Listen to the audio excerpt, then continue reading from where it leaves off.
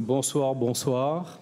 Bonsoir euh, à toutes et à tous. Euh, la présidente de Paris vient d'arriver et donc je vais lui céder, euh, je vais lui céder la place. On est tous très heureux de, vous revoir, de vous retrouver dans cet amphithéâtre Richelieu pour cette leçon inaugurale de notre onzième cycle. Je reviendrai vous voir après, mais je vais passer la parole à la présidente Christine Néoloduc à l'instant.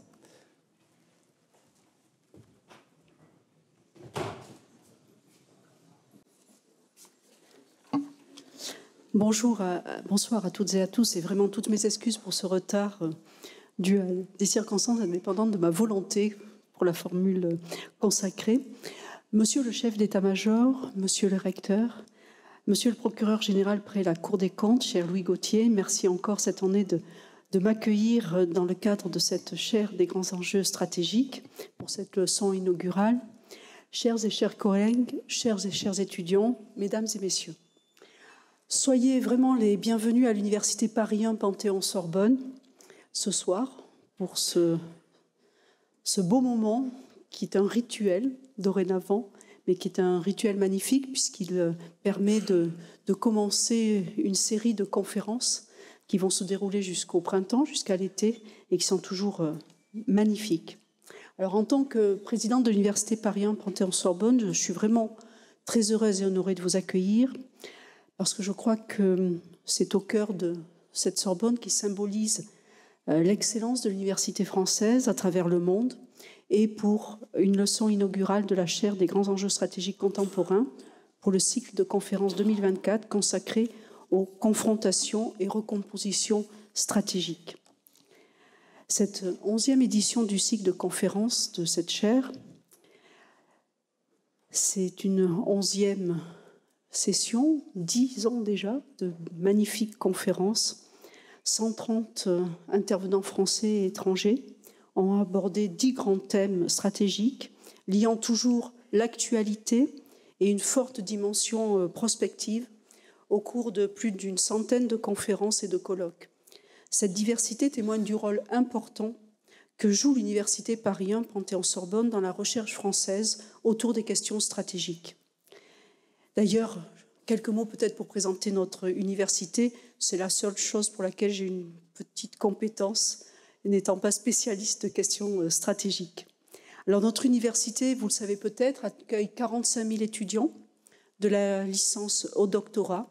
Elle peut être euh, peut-être qualifiée d'université euh, de masse à notre échelle, mais c'est surtout une université assez singulière puisqu'elle se distingue par une spécialité, une spécialisation en sciences humaines et sociales qui fait d'elle la plus importante de ce type en Europe. Notre société, notre monde, notre planète font face à des enjeux complexes qui doivent toujours pouvoir trouver un ancrage et une réponse dans les sciences humaines et sociales. Je suis vraiment intimement convaincue que les sciences humaines et sociales sont des leviers majeurs pour l'avenir et nos scientifiques, les acteurs des transformations. Il n'y a pas de, de sujet d'ici, de sciences dures peut-être, ou de, d'enjeux stratégiques de transition pour notre pays qui n'a pas des répercussions, qui ne nécessite pas une étude, une recherche et un accompagnement des sciences humaines et sociales. Alors bien entendu, notre université est ouverte sur le monde et souhaite être identifiée comme un acteur majeur des changements à l'œuvre dans notre société. Elle doit continuer à évoluer, à se développer, à s'améliorer encore et toujours, au service de nos étudiants, au service de nos chercheurs, au service de la société, parce que nous devons être vraiment à la hauteur des enjeux scientifiques et sociétaux d'aujourd'hui et de demain. Et c'est justement parce que de très beaux projets, de nombreux projets existent, comme la chaire que dirige euh, Louis Gauthier ce soir, que je suis particulièrement fière de présider cette université. Nous mêlons les disciplines, nous nous positionnons comme un objet de transformation, et cette chaire, et d'autres projets également, permettent en fait à nos sciences de rayonner et de montrer leur indispensable utilité et leur profondeur créative. La chaire des grands enjeux stratégiques et contemporains est aussi d'ailleurs associée au programme Sorbonne War Studies de l'Université Paris 1 Panthéon-Sorbonne, qui est à la fois un programme de recherche et de formation sur la guerre, la défense et la sécurité, qui a vocation à décloisonner l'étude de ces objets en faisant également appel aux outils ordinaires des sciences humaines et sociales. Alors, je pourrais prolonger mon, propos en citant de nombreux programmes ou projets que nous menons en intelligence artificielle, en environnement, en matière de santé. Et là, parfois aussi, où on ne nous attend pas, mais pas rien, pas rien, Panthéon-Sorbonne, les sciences humaines et sociales savent trouver toute leur place. Aujourd'hui, nous avons l'honneur et le plaisir que je partage avec vous de recevoir le général Thierry Burkhardt, chef d'état-major des armées, que je remercie vivement euh, pour sa présence ce soir. Il va arriver dans, quelques minutes. Les expériences et les responsabilités majeures que assume le chef d'état-major des armées font de lui un acteur et un témoin privilégié pour analyser les différentes zones de tension et les conflits territoriaux. L'intervention qui va, avoir lieu dans, un instant va être un moment très attendu par nos étudiants, par nos collègues présents et par l'ensemble des, des, personnes ce soir qui sont extrêmement nombreuses euh, dans cet amphithéâtre. Et je suis certaine aussi que les échanges qui vont suivre nous aideront à mieux saisir les enjeux qui seront riches et euh, instructifs. Donc je ne vais pas vous faire patienter plus longtemps, puis euh, Louis Gauthier va aussi intervenir, mais je souhaitais aussi remercier toutes les personnes qui sont impliquées au sein de la chaire et en premier lieu Louis Gauthier, à qui voilà, je vais passer la parole pour présenter plus amplement le cycle et le programme du cycle de recherche. En tout cas, remercier vraiment toutes les personnes qui accompagnent cette chaire de, depuis très longtemps et particulièrement les entreprises qui euh, permettent le financement de, de, la recherche, le CEA, MDBA, Thales, Airbus, Naval Group et bien entendu aussi la Fondation Saint-Cyr qui est un partenaire important de notre université. Je vous remercie.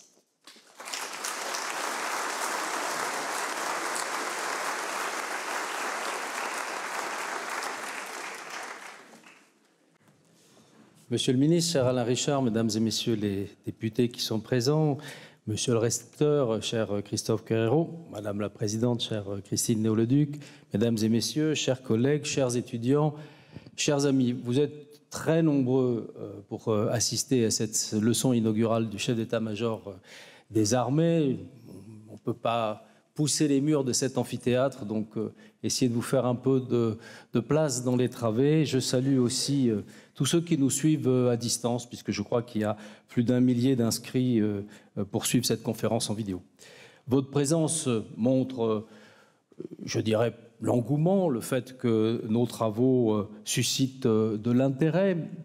Au-delà, je sens aussi, peut-être au fur et à mesure des années, une angoisse qui s'accumule devant le tumulte du monde et, les interrogations que ce monde pose. Au départ, c'est vrai, la chaire, son public s'est centré sur le cœur, sont les étudiants de Paris 1, mais très tôt, ce public s'est étendu et euh, s'est diversifié. Au moment d'ouvrir euh, euh, cette leçon inaugurale euh, du XIe cycle, vous venez de le rappeler à l'instant, Madame la Présidente, de, de la chaire Grands enjeux stratégiques contemporains, un cycle que j'espère l'ouverture aussi d'un cycle décennal pour la chaire, il me semble peut-être utile de revenir sur euh, les objectifs initiaux que nous nous étions fixés en 2014, d'en mesurer l'atteinte et, de préparer aussi l'avenir. Un premier but qui était agréé par vos prédécesseurs, euh, Jean-Claude Colliard, euh, Philippe Boutry, était de mieux ancrer les études stratégiques de défense au sein de notre université et plus généralement dans le paysage universitaire français. Paris 1 Panthéon-Sorbonne, on vient de le rappeler à l'instant, la plus grande université française en sciences humaines et sociales. Elle figure en bonne place dans tous les classements internationaux. Elle possédait donc tous les atouts pour faire prospérer ce projet. Comme d'autres grands établissements d'enseignement supérieur, elle pâtit cependant d'une organisation par section, par discipline, qui a tendance à rigidifier les domaines d'études, et notamment les domaines d'études transverses comme euh, le nôtre. Et contrairement, vous le savez, à des traditions des grandes universités anglo-saxonnes, il n'y a pas dans les universités françaises, comme à King's College, comme à Princeton, comme à Columbia, des départements de WOW, de Strategic Studies. Mais nous avons euh, la pluralité, la diversité de nos UFR. Et depuis sa création, la chaire, dans le champ des questions internationales et de défense, entend donc accompagner au sein de Paris 1 d'abord la mise en place de masters euh, spécialisés ou interdisciplinaires. Je pense notamment au master expertise des conflits armés. Je retrouve là beaucoup des têtes de, de, ces séminaires.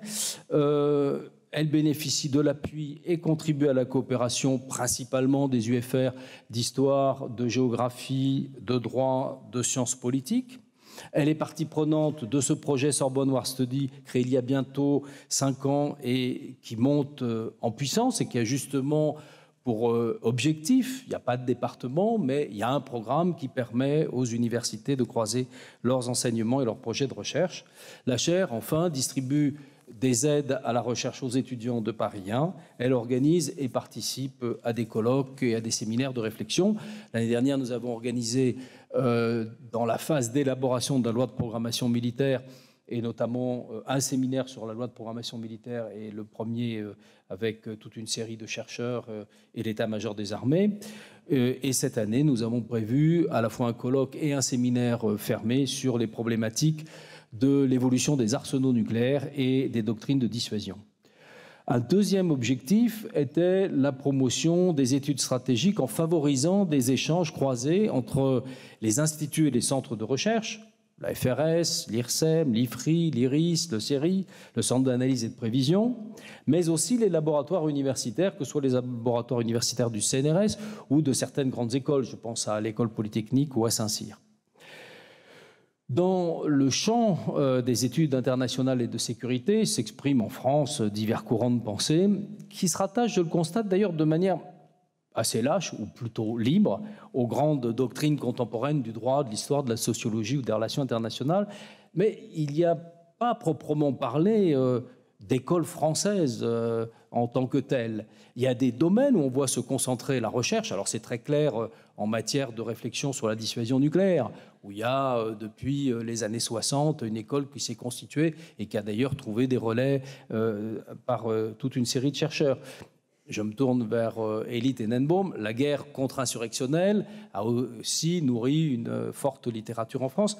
Mais donc, il n'y a pas voilà, cette, concentration, et sans doute tant mieux. Et de toutes les façons, le but de la chaire était de donner la parole à tous, en veillant à l'enchaînement des générations de chercheurs et d'experts et à l'entretien de liens étroits entre eux. Ceux d'abord qui ont ouvert la voie, j'allais dire les grands anciens, et euh, souvenez-vous, le premier cycle de la chaire euh, avec euh, Pierre Asner, et puis l'année dernière, Thierry de Montbrial ou Bertrand Badi.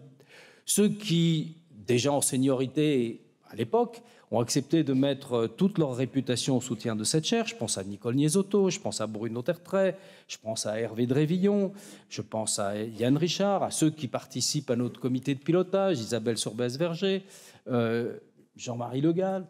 Euh, et donc, cette seconde génération qui nous a apporté de la consolidation, l'ancrage réputationnel nécessaire, notamment aux travaux de nos comités scientifiques. Et puis ceux qui, au début de l'entreprise, étaient euh, la génération montante, les jeunes chercheurs. Bah, maintenant, ils sont au premier plan, on s'en réjouit. Euh, les Thomas Gomard, euh, et Tenenbaum. Tenenbaum, j'étais à son jury de, thèse, donc ça ne me rajeunit pas, mais Olivier Schmitt, on peut les citer, ils sont à un moment ou à un autre passé, on a eu le, bonheur, le plaisir d'assister à leurs conférences, et donc il faut que ça se poursuive.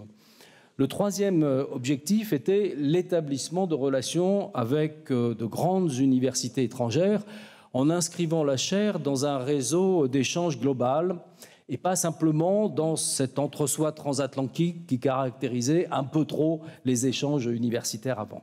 Et je pense qu'on l'a réalisé. Nos intervenants viennent des universités de Yonsei, de Kyoto, de Fudan, de Sydney. Ils viennent aussi bien sûr de Princeton ou de MIT mais également de Tel Aviv, d'Ankara, de Tübingen, comme cette année, ou du King's College de Londres.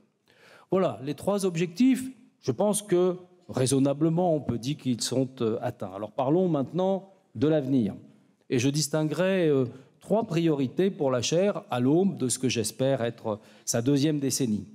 Pérenniser, c'est évident, les activités d'enseignement et de recherche et contribuer par son apport à l'essor du développement des Sorbonne War Studies de Paris 1 j'ai trop connu euh, dans le passé euh, des initiatives qui finalement étaient des initiatives individuelles et qui s'achevaient au départ à la retraite ou à la mutation d'un enseignant ou d'un universitaire pour souhaiter que ce projet, après moi, après la génération de ceux qui sont à notre comité de pilotage, se poursuive. Je pense que, je vais y revenir tout à l'heure, mais la période montre combien on a besoin euh, d'instances de réflexion, d'enceintes aussi du libre débat sur, euh, sur ces questions, et combien il serait fâcheux euh, de voir s'éteindre un pôle qui s'est constitué. Il y en a peu, par ailleurs, en France. Je, reconnais des efforts qui sont faits par d'autres universités, mais peut-être peu qui sont aussi saillants.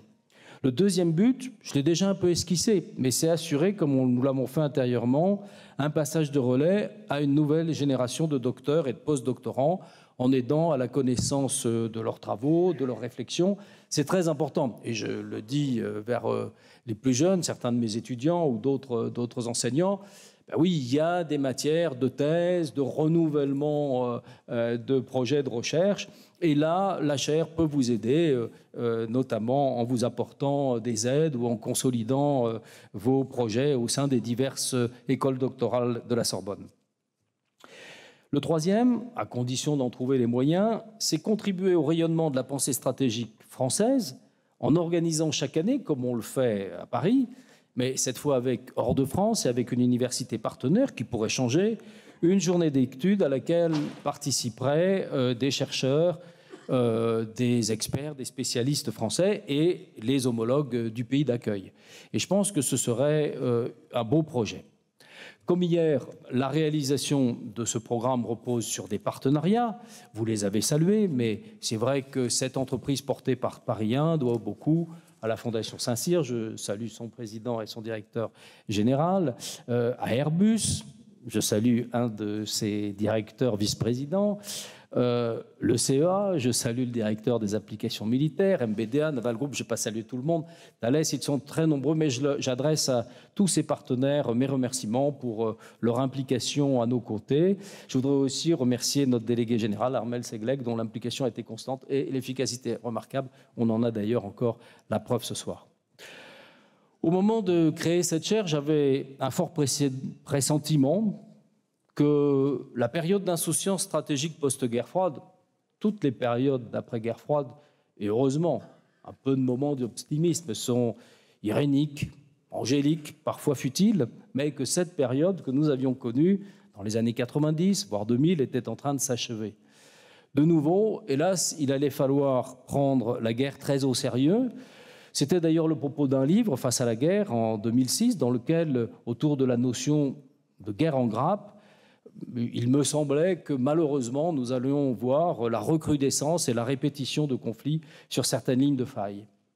Les interventions humanitaires des années 90 avaient laissé la place à des opérations sécuritaires en Afghanistan, en Irak notamment, et elles pavaient la voie au retour de la guerre entre États et aux confrontations de puissance. Nous y sommes. Alors je ne sais pas s'il est minuit dans le siècle, comme le suggère euh, Edgar Morin, dans un article publié aujourd'hui dans Le Monde, il emprunte, vous savez, euh, ce titre à un livre fameux de Victor Serge publié en 1939, au moment du démantèlement de, la Pologne. C'est plutôt quand même un livre qui est tourné sur la problématique des oppositions entre staliniens et, et trotskistes, mais sur euh, la constitution euh, d'un monde en plein chamboulement. Ce que je sais, c'est que la nécessité de réfléchir aux menaces qui pèsent sur notre monde pour les endiguer se fait plus impérieuse encore.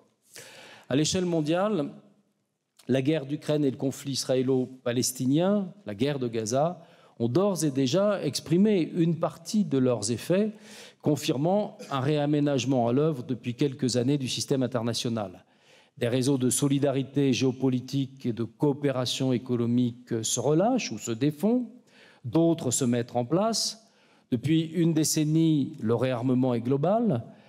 À la suite du retrait américain d'Afghanistan, qui symboliquement en attestait déjà, ces guerres d'Ukraine et de Gaza montrent que l'ordre mondial d'après-guerre froide est définitivement révoqué.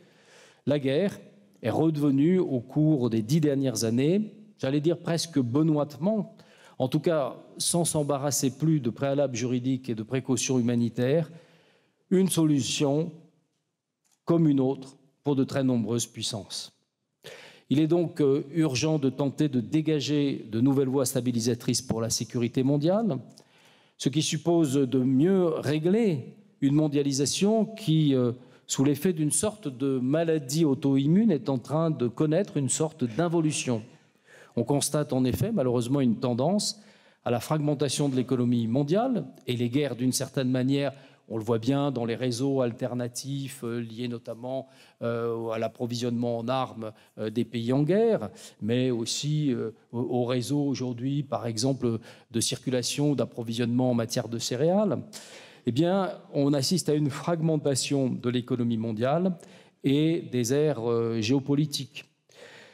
Quand les défis de l'humanité, qu'ils soient climatiques, sanitaires, migratoires ou sécuritaires, le terrorisme, les actions euh, des criminalités internationalisées sont planétaires et devraient donc pouvoir devoir être relevées en commun. Tout cela supposerait une vision d'ensemble, la coopération de tous, mais je crois que c'est euh, de manière alternative le modèle qui est proposé d'opposer un Occident collectif, qui ne sait d'ailleurs pas vraiment à quel sens se vouer, a fortiori si euh, demain Trump revenait au pouvoir, d'opposer cet Occident collectif à un, Sud global euh, également difficile à cerner. Je constate en outre qu'en amalgamant, en massifiant les antagonismes, on n'a euh, aucune chance de les régler convenablement. vous avez sans doute vu, par exemple, qu'il y a eu 48 heures, la Chine a condamné les harcèlements de navires civils en mer Rouge. Et donc on voit bien qu'il y a des intérêts qui, malgré la compétition entre Washington et, Pékin, peuvent amener à régler des questions euh, de sécurité internationale. Washington et Pékin ne sont pas en tout sur des lignes opposées. La guerre d'Ukraine, de la même manière, quelles que soient euh, les conditions de son achèvement, indique une fois de plus, par son bilan désastreux, euh, et pour toutes les parties prenantes que le recours à la force est la pire des solutions et que l'on devrait pouvoir trouver des issues euh, qui évitent de revenir à la brutalité de ces guerres du XXe siècle. L'année dernière, euh, notamment quand on s'était intéressé beaucoup au conflit d'Ukraine, aux conditions de la paix, c'est un conflit qui est tellement ancré par sa brutalité, et y compris, je dirais, par la vision qui a inspiré l'invasion de l'Ukraine, par euh, les conceptions euh, autoritaires euh, du XXe siècle.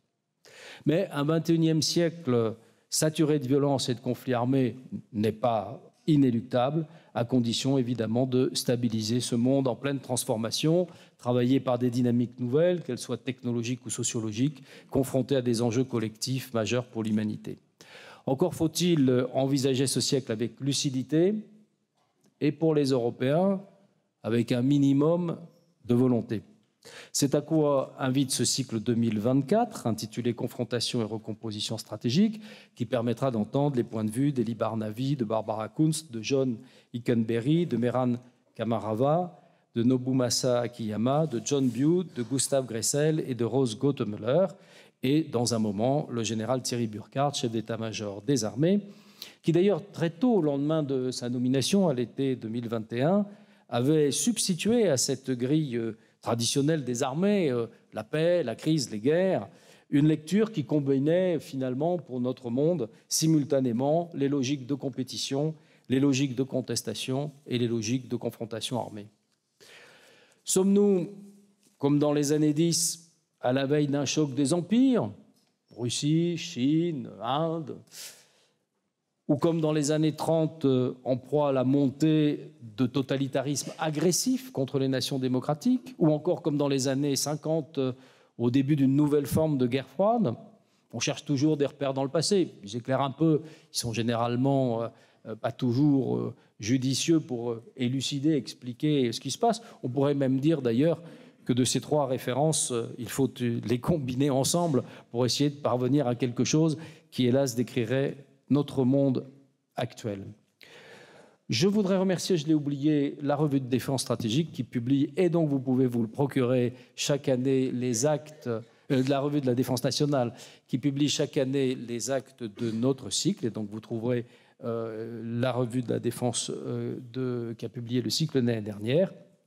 Et je vais maintenant passer la parole à Elie Tenenbaum, qui, en introduction de ce cycle de conférences, va centrer son propos sur les défis de l'année stratégique 2024 et l'évolution prévisible, possible, des points chauds de la planète. Élie, je suis très heureux de te passer la parole.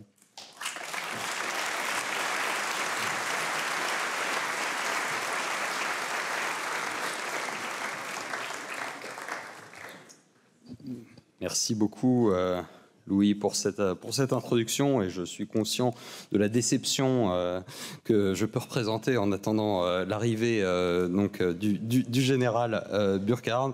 Louis m'a appelé il y a quelques temps en me disant j'ai une mission simple, le général Burkhardt sera euh, un petit peu en retard, est-ce que tu peux euh, faire un tour d'horizon géopolitique mondial en attendant qu'il arrive? C'est pour ce genre de mission simple que euh, nous autres chercheurs vivons et, apprécions notre, métier. Donc, pour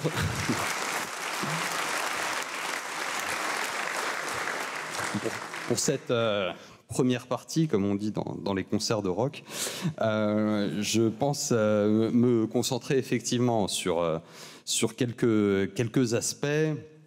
en commençant par un point, un point frappant sur, sur la, période que nous vivons actuellement, où nous autres occidentaux avons subi au cours des dernières années euh, un certain nombre de surprises, certains parlent de surprises stratégiques, elles n'en sont pas forcément, euh, provenant non pas de conflits nouveaux, mais euh, de conflits anciens avec euh, des hypothèses euh, en tendance. On avait, on avait pris l'habitude de, lire à travers ces, hypothèses en tendance en négligeant euh, les effets de rupture, en imaginant finalement qu'il y aurait une continuité sur ces conflits que nous avions, auxquels nous étions habitués, que, que, que, nous étions habitués à côtoyer et voir évoluer à un certain rythme la chute de Kaboul en Afghanistan en, août 2021, après 20 ans de guerre dans ce pays, l'invasion russe de l'Ukraine, alors que la guerre durait déjà depuis 2014, le cinquième coup d'État successif au Sahel qui a conduit au départ des Français euh, du Niger, alors que le processus était enclenché depuis longtemps, la disparition euh, définitive de ce qui restait de la République du Haut-Karabakh euh, entre l'Arménie et euh, l'Azerbaïdjan, un conflit vieux de plus de, de 30 ans et qui avait déjà connu un tournant en 2020. Et pour finir, évidemment, le retour du conflit israélo-palestinien qui persiste sous une forme euh, ou une autre depuis un siècle. C'est cet effet d'accélération, pour reprendre le titre euh, de l'ouvrage récemment paru de, Thomas Gomard, euh, qui est frappant de ce point de vue-là, et la manière dont nous avons pu être pris par cette accélération qui en dit au moins autant sur les dynamiques géopolitiques que sur notre propre regard que nous portons euh, sur, euh, sur le monde et sur, et sur la conflictualité en cours.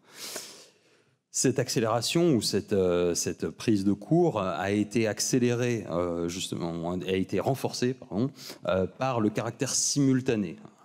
vous avez sans doute pu croiser ces derniers temps la notion de polycrise qui est devenue très à la mode, qui a été développée par l'historien de l'économie Adam Tooze à l'époque du, euh, du, Covid, euh, qui, euh, évidemment, comme son nom l'indique, cherche à, décrire cette, cette multiplication des crises et, et, leur effet systémique que ça peut provoquer sur la réponse et sur la manière dont nous avons pris l'habitude de segmenter finalement les problèmes pour, les, pour y répondre de manière, de manière séparée. Mais comme on avait pu le voir à l'époque du Covid, et c'est encore euh, plus le cas aujourd'hui, je pense, dans, le cadre de ces crises de sécurité.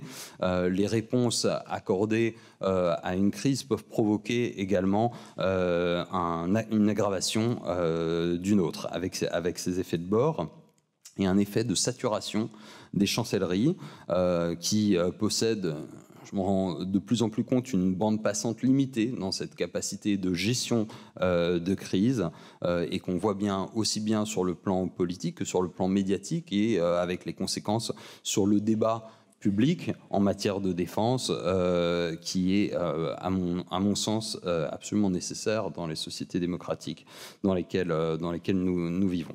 Donc quelques éléments pour, pour commencer ce, ce, ce, panégyrique. De toute façon, je m'arrête quand le SEMA arrive.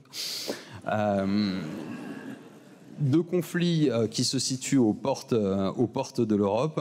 Évidemment, ils ont déjà été cités, l'Ukraine et, le Moyen-Orient. Puis un rapide coup d'œil sur les effets d'éviction que cela génère sur d'autres conflits qui sont pourtant en cours et qui, n'attendent pas le regard occidental. Et puis pour conclure, si le SEMA n'est pas encore arrivé, euh, sur les défis structurels euh, qu'il ne faut pas perdre de vue, je me semble, euh, je, pense sur cette perspective. tout d'abord, l'Ukraine point euh, évidemment essentiel, et le président de la République l'a dit lors de, euh, de ses voeux, et, je pense, euh, mon humble avis, à, juste titre, qui reste la priorité de la France, de la politique étrangère de la France et de sa politique de, de défense et de sécurité nationale.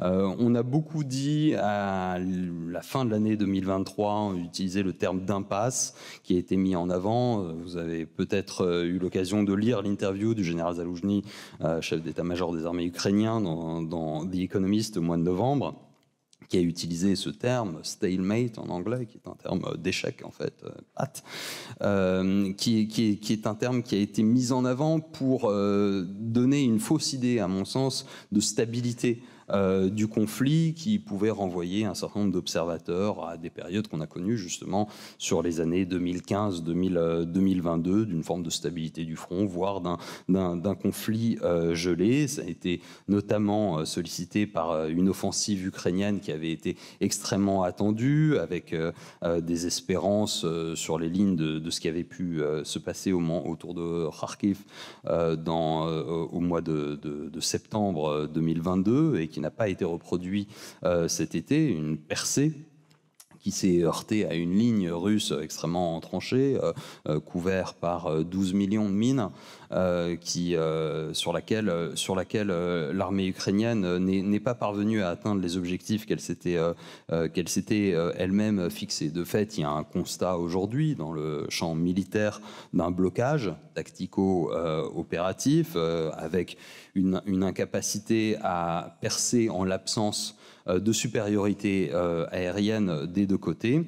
Euh, et, qui donne, euh, et qui donne cette image d'autant plus que la Russie elle-même, dans ses propres offensives, y compris celles qui sont menées euh, actuellement, beaucoup plus coûteuses en vie humaine que celles des Ukrainiens, n'est pas parvenue davantage à produire des, des, résultats et des gains territoriaux significatifs ou à la mesure des sacrifices, des sacrifices engagés. Pour autant, il me semble que euh, cette, euh, cette, image d'impasse ou, de, ou, de, stabilisation euh, est fausse parce que nous sommes en réalité engagés sur un faux plat qui masque une féroce course pour la contre-la-montre de la part des deux dirigeants qui cherchent chacun à renforcer leur position stratégique au-delà de 2024, et c'est en fait l'année 2025 qui se joue ici, preuve que nous sommes engagés malheureusement dans un conflit dans la durée. La Russie s'est placée euh, bel et bien en économie de guerre,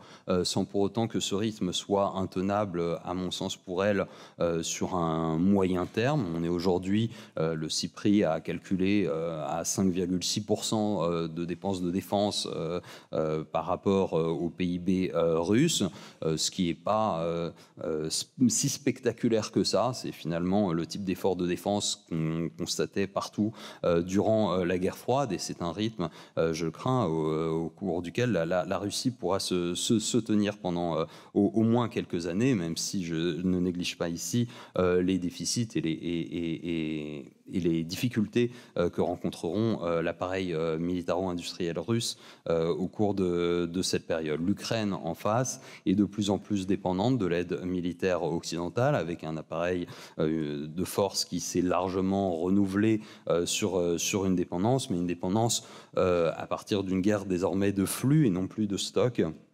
Euh, et, qui, et, de flux qui sont de plus en plus tendus, on le voit euh, chaque jour avec la question du renouvellement des, paquets d'aide. Euh, la réalité de 2024 est donc celle d'un conflit beaucoup plus asymétrique qu'on pourrait le croire, dans lequel les Russes ont bel et bien à nouveau l'avantage matériel pendant une fenêtre que l'on peut discuter, autour de trois, trois enjeux particuliers qui me semblent importants de, de signaler. Je terminerai là sur l'Ukraine. la puissance de feu, l'enjeu humain et euh, les euh, moyens de supériorité de milieu.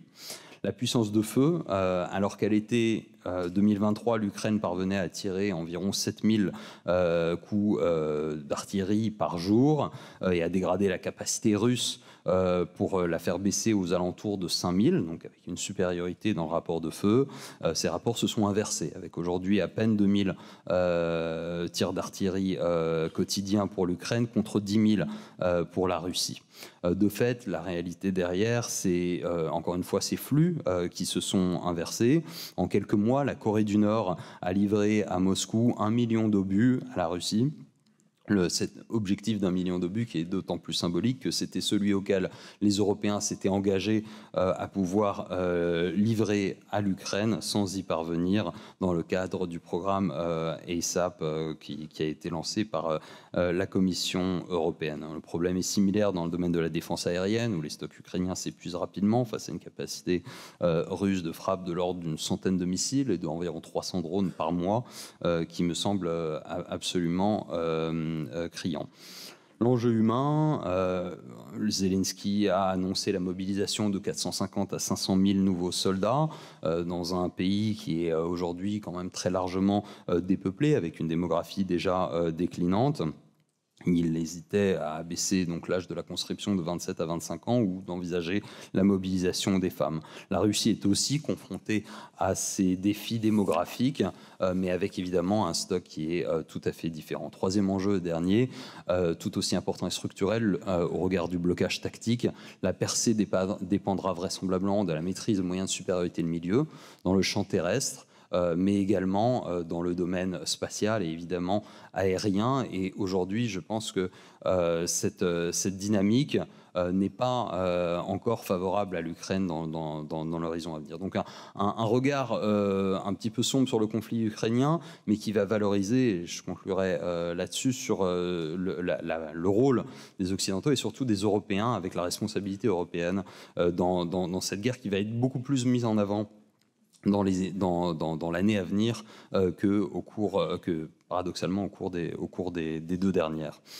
Le second conflit euh, aux portes de l'Europe, évidemment, c'est celui euh, du Moyen-Orient. Et euh, pour son analyse, effectivement, Louis a, évoqué son, concept de conflit en grappe, qui, à, mon, sens, se prête particulièrement bien à l'analyse du, conflit au Moyen-Orient, avec une forme de phénomène d'agglutinement stratégique, où on voit bien comment un conflit local prend aujourd'hui une dimension régionale, avec une greffe, un certain nombre d'acteurs euh, euh, qui, lui donne une dimension euh, plus importante et comment de la bande de Gaza de quelques centaines de, kilomètres carrés, nous retrouvons aujourd'hui avec une partie significative du globe qui, est, concernée.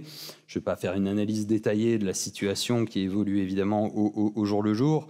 Ce n'est que pour insister qu'à l'échelle locale, on voit bien, et certains auraient pu euh, évidemment l'envisager euh, dès le début, que la supériorité militaire israélienne a effectivement, effectivement parvenu à affaiblir durablement euh, le Hamas dans, son appareil militaire et, dans une moindre mesure politique, mais pas suffisamment pour le mettre à genoux. On avait encore hier des tirs persistants, y compris depuis le nord de, de, l'enclave, ni en termes de libération d'otages, avec la problématique tactique des tunnels sur laquelle je ne rentrerai pas.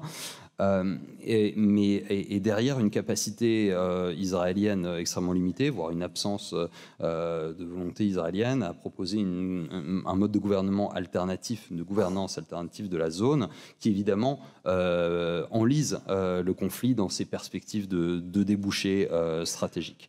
Euh, dans, ce, contexte local, l'action, l'agentivité, dirions-nous aujourd'hui, euh, des Occidentaux et tout particulièrement des Européens est faible. Notre capacité à peser sur, sur le conflit, au contraire du cadre ukrainien, notamment euh, du fait euh, finalement euh, d'une position politique qui, reste, qui reste plus délicate et, une appétence et des moyens finalement qui sont, qui sont aujourd'hui peu adaptés à peser sur la, sur la trajectoire stratégique. Mais je, pense qu'on pourrait y, y revenir peut-être avec, avec l'intervenant de tout à l'heure. mais comme vous l'avez...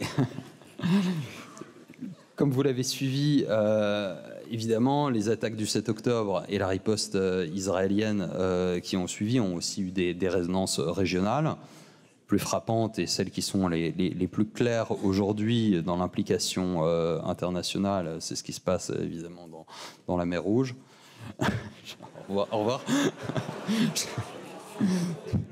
De, mieux en mieux. Euh, J'espère que j'ai pas dit de bêtises. Euh, la, menace sur. Euh,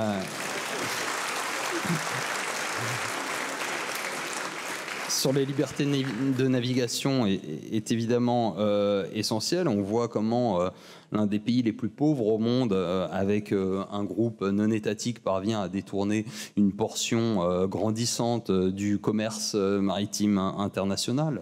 L'effet d'asymétrie est, ici frappant et, l'efficacité militaire des frappes qui sont conduites aujourd'hui amène véritablement à se poser sur notre, capacité à peser sur ces trajectoires.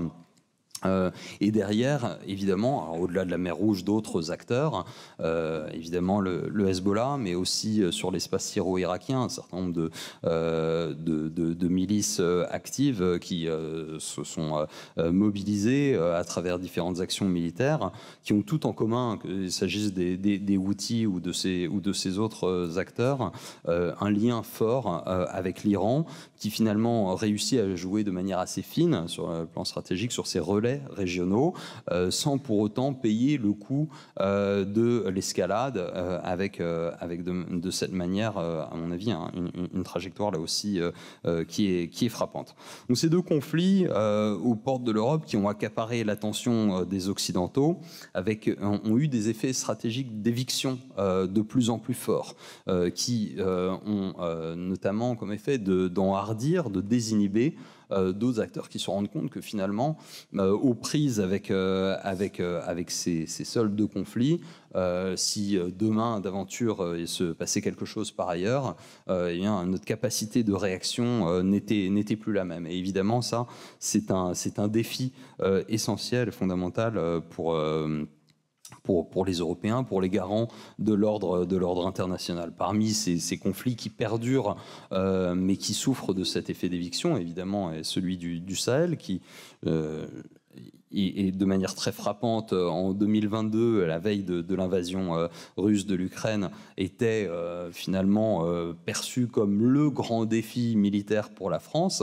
je me rappelle très bien d'un échange avec, le général Burkhardt le 17 février 2022, et le sujet à l'époque était le, retrait français des forces françaises du Mali et des forces européennes du Mali dans le cadre de cette confrontation. Le monde a changé à une vitesse frappante et stupéfiante depuis cette, cette période-là.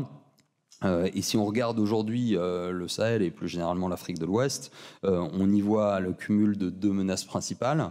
Une menace qui était connue et perçue comme structurante euh, jusqu'à présent, mais euh, jusqu'avant euh, la guerre d'Ukraine, mais qui n'a pas du tout disparu, bien au contraire, c'est le djihadisme, et une autre menace qui s'y est installée à une vitesse surprenante, qui est la menace russe ou celui de ce qu'on appelle les compétiteurs stratégiques, la Russie en étant évidemment un emblème, un emblème frappant. Euh, l'année 2023 a été l'année la plus meurtrière euh, au Sahel depuis le début du conflit, avec une reconfiguration rapide euh, des États sahéliens, un effet clair d'effondrement de, la gouvernance, avec, qui se recentre aujourd'hui sur, sur les capitales, une offre russe stratégique qui progresse. Euh, on l'a vu en Centrafrique, on l'a vu au Mali, euh, ça s'établit aujourd'hui au Burkina Faso et les contacts sont pris euh, avec, avec le Niger une offre qui ressemble euh, à s'y méprendre à celle qui était euh, celle des anciennes puissances coloniales dans les années qui ont suivi l'indépendance. C'est-à-dire une offre fondée fondamentalement euh, sur une garantie de sécurité de régime, une sécurisation de régime. Si vous regardez aujourd'hui ce que font Wagner ou son épigone qui est l'Afrique Accord, c'est la sécurisation de régime des, des palais présidentiels de ces juntes militaires euh, en échange d'une forme de loyauté géopolitique. Et la lutte contre le terrorisme, sans même parler euh, de la réforme du secteur de sécurité ou euh, de la construction durable de nouvelles formes de gouvernance dans, ces pays-là, ne rentre absolument en aucune manière dans, ce cadre. Et fondamentalement, il n'y a pas de conditionnalité politique intérieure à cette aide russe.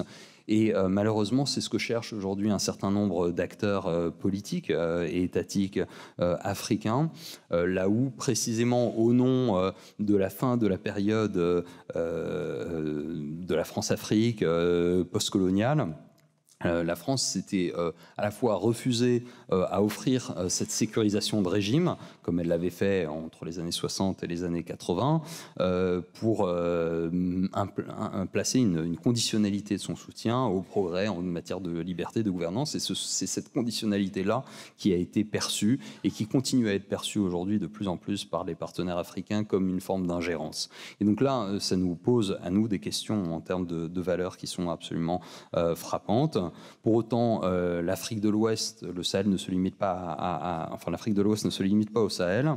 Il existe des, partenaires qui, persistent, euh, qui sont là. Euh, dans le cadre du Sahel, ceux que l'on appelait les ailiers, la Mauritanie, le Tchad notamment, avec les faiblesses et les, problèmes qui sont, qui sont les leurs, y compris en, matière de gouvernance, mais qui sont aujourd'hui demandeurs d'un partenariat avec, avec les Occidentaux et puis les pays côtiers euh, ceux avec lesquels nous avons le plus euh, d'intérêt en commun, le Sénégal évidemment, euh, le, Bénin, le Togo, la Côte d'Ivoire et dans une certaine mesure le Nigeria, le Ghana aussi, qui sont des partenaires essentiels et sur lesquels, à mon avis, nous avons des convergences qui sont, extrêmement importantes le, Sahel, l'Afrique de l'Ouest est, un cas parmi d'autres des grands conflits qui malheureusement ensanglantent la planète et continueront à le faire pour l'année 2024. On peut penser au Soudan, on peut penser euh, au conflit, à la guerre civile en Birmanie euh, ou, à, la situation actuelle en, Haïti. Euh, autant de conflits sur lesquels on voit bien une, action occidentale qui est complètement aujourd'hui marginalisée, ce qui n'aurait pas forcément été le cas il y a 5 ou 10 ans, tout simplement parce que notre capacité de traitement est aujourd'hui extrêmement... De, de, notre capacité à, faire face à cette accélération et à cette simultanéité est aujourd'hui euh, aujourd'hui amoindrie.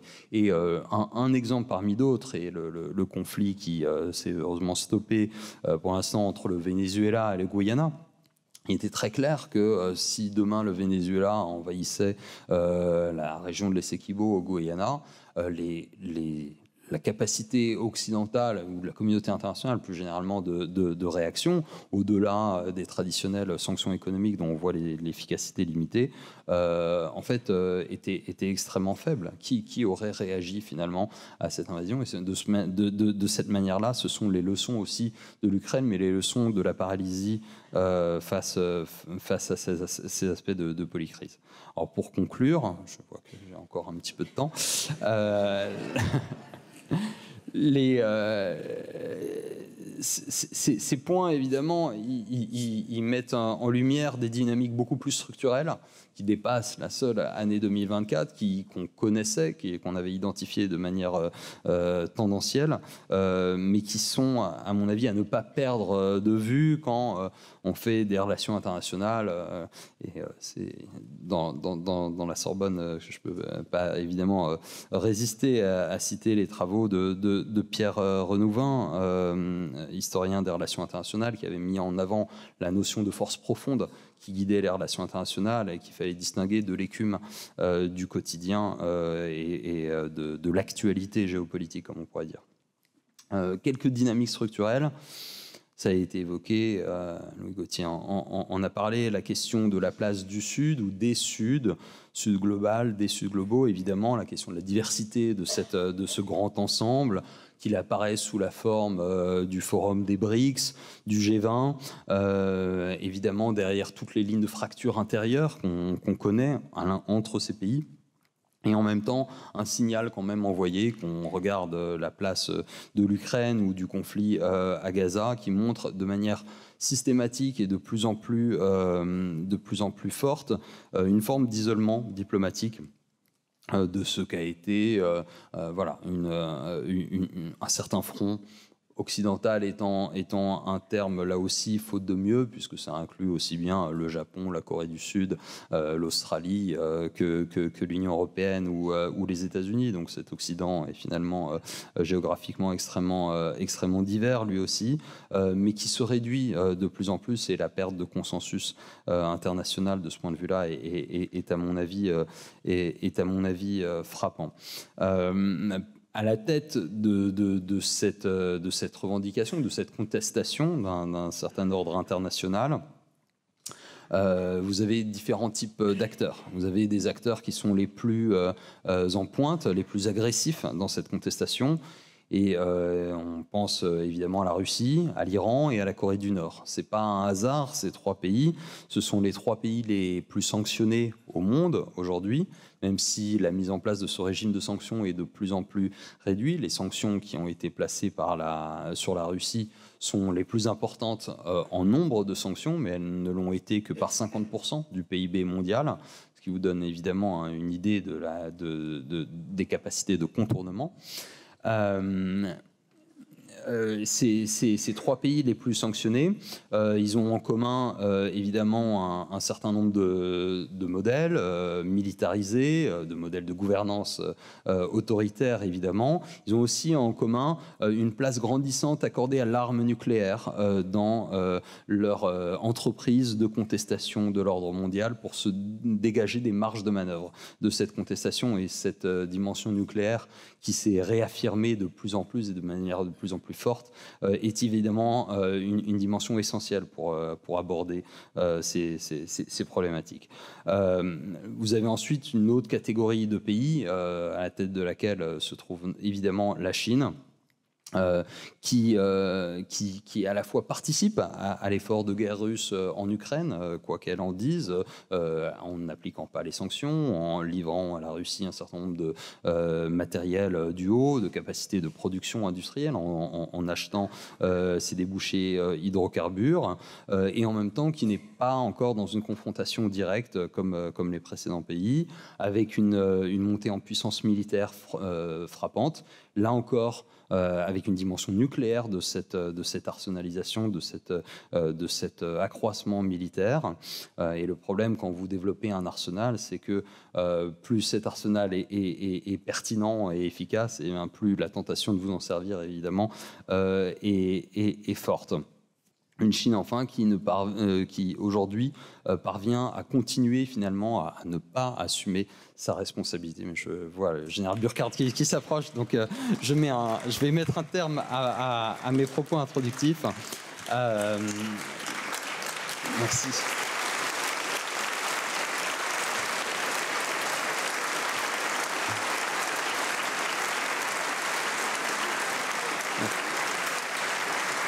En général, j'ai chauffé la salle, comme on dit.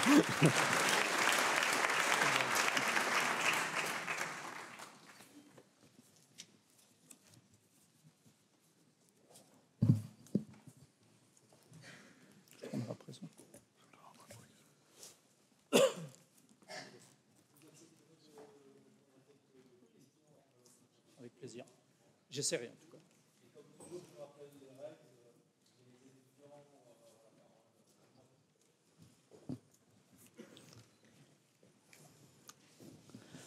Monsieur le ministre, euh, monsieur le procureur général, monsieur le recteur, que j'ai perdu de vue maintenant,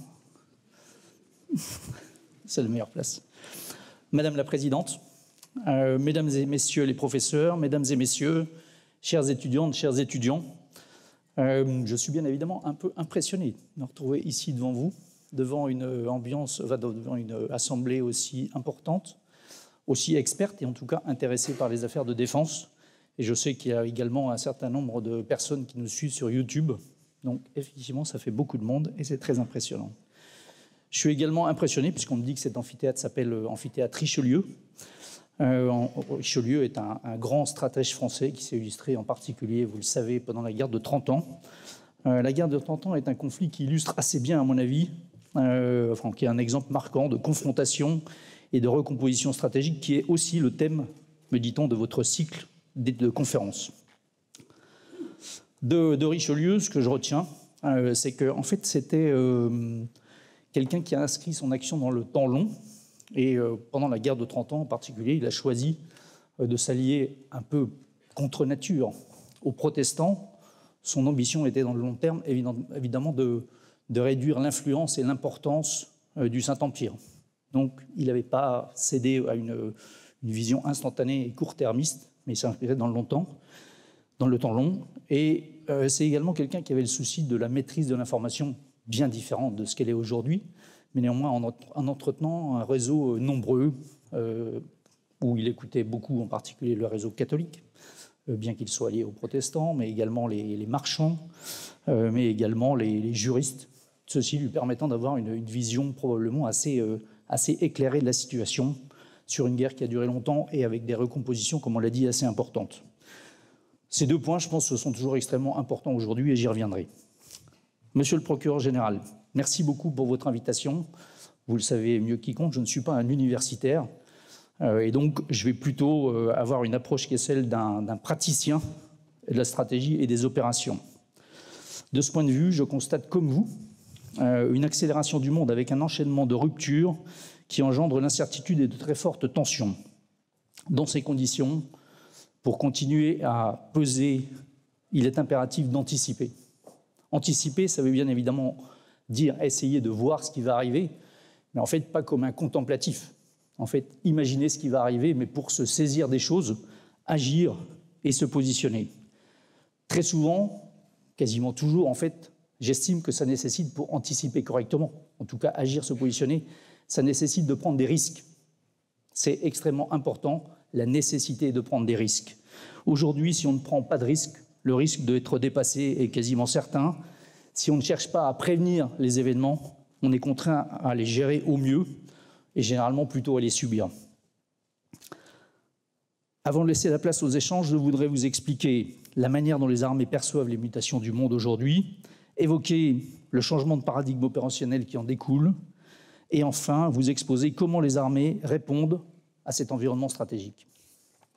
Alors, l'environnement stratégique. l'environnement stratégique, le comprendre est quelque chose qui est extrêmement important. En tout cas, pour les armées, en fait, on n'agit pas un peu en, translation ou en suspension. C'est bien évidemment l'environnement stratégique euh, qui compte beaucoup et qu'on essaye de maîtriser. Mais l'environnement stratégique, la compréhension de l'environnement stratégique est quelque chose qui est important. J'estime qu'il y a quatre grands marqueurs aujourd'hui dans l'environnement stratégique dans lequel nous vivons. Le premier marqueur, c'est la dynamique de la force. En fait, le retour du rapport de force comme mode de règlement des conflits pour imposer sa volonté. Le réarmement, qui avait commencé il y a quelques années, mais c'est aujourd'hui ce qu'on assiste, c'est une vraie désinhibition, voire volonté d'employer la force pour imposer sa volonté. En fait, on emploie la force parce qu'aujourd'hui, la force produit des effets immédiats. Il y a malheureusement beaucoup d'exemples. Euh, j'en saisis un, c'est le, Haut-Karabakh. C'est quelque chose qui durait depuis 30 ans. Et en fait, en 24 heures, le Haut-Karabakh a disparu. Cette affaire-là est réglée et on est passé à autre chose. 24 heures.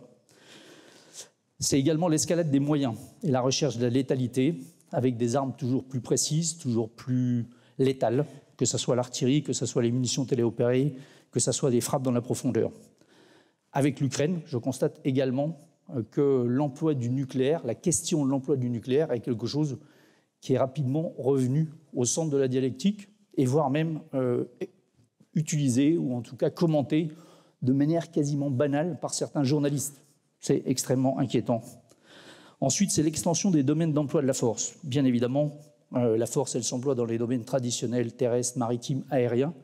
Mais vous voyez bien que finalement, la force, ou en tout cas l'utilisation militaire, est présente aussi dans d'autres nouveaux champs, nouveaux milieux, que sont les grands fonds marins, euh, le cyber, l'espace ou l'espace informationnel. Le dernier point qu'il faut souligner, c'est que l'emploi de la force est probablement aussi lié, ou en tout cas a provoqué, c'est quelque chose qui est lié, en fait, euh, une atténuation de l'ordre international qui peine à finalement réguler ce qui avant était des conflits qui subissaient difficilement et lentement quelquefois, mais la pression mise par le vote ou l'acceptation de résolutions au Conseil de sécurité des Nations Unies. Aujourd'hui, il est bien rare qu'on entende encore parler de résolution des Nations Unies. Ce n'est pas parce qu'il n'y en a plus, c'est qu'en fait parce que ça ne pèse plus dans la dynamique des crises aujourd'hui. Ça, c'est le premier euh, marqueur. Le deuxième marqueur, c'est la puissance de l'information, avec des développements technologiques et la numérisation des sociétés qui confèrent à l'information une valeur stratégique exceptionnelle. L'information est tout d'abord un enjeu de la bataille, en particulier dans la recherche du renseignement, quelque chose qui est capital pour comprendre et pour agir, mais également le lieu de la bataille. Le lieu de la bataille, avec des directement liés à l'information, euh, comme l'intoxication, mais aussi l'exercice du commandement des forces, où c'est la, supériorité informationnelle, l'usage du commandement qui permet d'imposer sa volonté et de gagner la bataille de l'information. Ça conduit à des actions très offensives de la part de nos compétiteurs pour agir sur les perceptions en déployant des stratégies de long terme. C'est probablement ça qui caractérise aussi la guerre informationnelle. C'est quelque chose qui nécessite de l'anticipation et des actions sur le long terme. Dans le domaine informationnel, dans le champ informationnel, dans la lutte informationnelle, en fait, vous le constatez, il n'y a pas de victoire décisive. Ce n'est pas un bouton qui permet instantanément finalement d'imposer sa volonté, c'est quelque chose qui est beaucoup plus long, mais la palette euh, d'effets est extrêmement large. C'est soit du signalement stratégique, ça sert de caisse de résonance, c'est également de l'entraînement euh, pour amener des gens à travailler avec soi, ou au contraire l'inhibition de nos adversaires. Les perspectives euh, doivent impérativement être prises en compte la guerre informationnelle va de plus en plus structurer les antagonismes et bien évidemment les progrès technologiques auxquels on assiste, en particulier l'IA générative, est probablement quelque chose dont on n'a pas encore bien mesuré les effets que ça va produire, mais il faut impérativement s'y préparer. Le troisième marqueur, en fait, c'est la manœuvre de désoccidentalisation auquel on assiste. Vous constatez comme moi la volonté de créer un ordre alternatif euh, derrière cette manœuvre-là, c'est un ensemble assez hétérogène. Euh, d'aucuns parlent du Sud global. En fait, tous ces pays-là ne sont pas au Sud, donc c'est peut-être pas exactement. Mais je pense que Sud, global, euh, finalement, illustre assez bien ce que ça veut dire. Et en tout cas, ces gens-là ont évidemment un, un, trait commun. Et il y a quelque chose qui les rassemble, c'est le rejet de ce qu'eux pourraient appeler le Nord, c'est-à-dire l'Occident, c'est-à-dire nous. On a des compétiteurs face à nous extrêmement offensifs, la Russie, la Chine, l'Iran, la Corée du Nord, la Turquie, qui avancent leurs pions dans tous les domaines, qu'ils soient militaires, économiques, diplomatiques, industriels. Ceux-ci cherchent à accéder à de nouvelles ressources, à établir de nouveaux points d'accès et à contester les acquis, c'est-à-dire ce qui fait fonctionner le monde aujourd'hui, en, nous, décrivant comme ceux qui finalement ont mis en place ce système et en profitent aujourd'hui. En plus, il y a bien évidemment des puissances régionales qui euh, s'affirment et qui en fait exploitent les opportunités. Bien évidemment, ceci ne fait que créer des tensions supplémentaires et générer de l'instabilité. Le quatrième marqueur, qui va vous paraître peut-être un peu décalé par rapport aux trois premiers, mais pour autant je pense qu'il faut le prendre sérieusement en compte, est le changement climatique. Euh, les impacts environnementaux, en fait, sont en quelque sorte des catalysateurs du chaos en termes de famine, de déplacement de population, et bien évidemment, ces éléments-là sont instrumentalisés par les grands compétiteurs contre nous, où on est souvent décrit comme les responsables de ce qui est arrivé, qui ce qui génère le changement climatique aujourd'hui. C'est également quelque chose qui est une préoccupation majeure euh, pour un certain nombre de nos partenaires, en particulier dans la zone Indo-Pacifique et en Méditerranée. À ce titre-là, je pense qu'il est vraiment très important de le prendre en compte.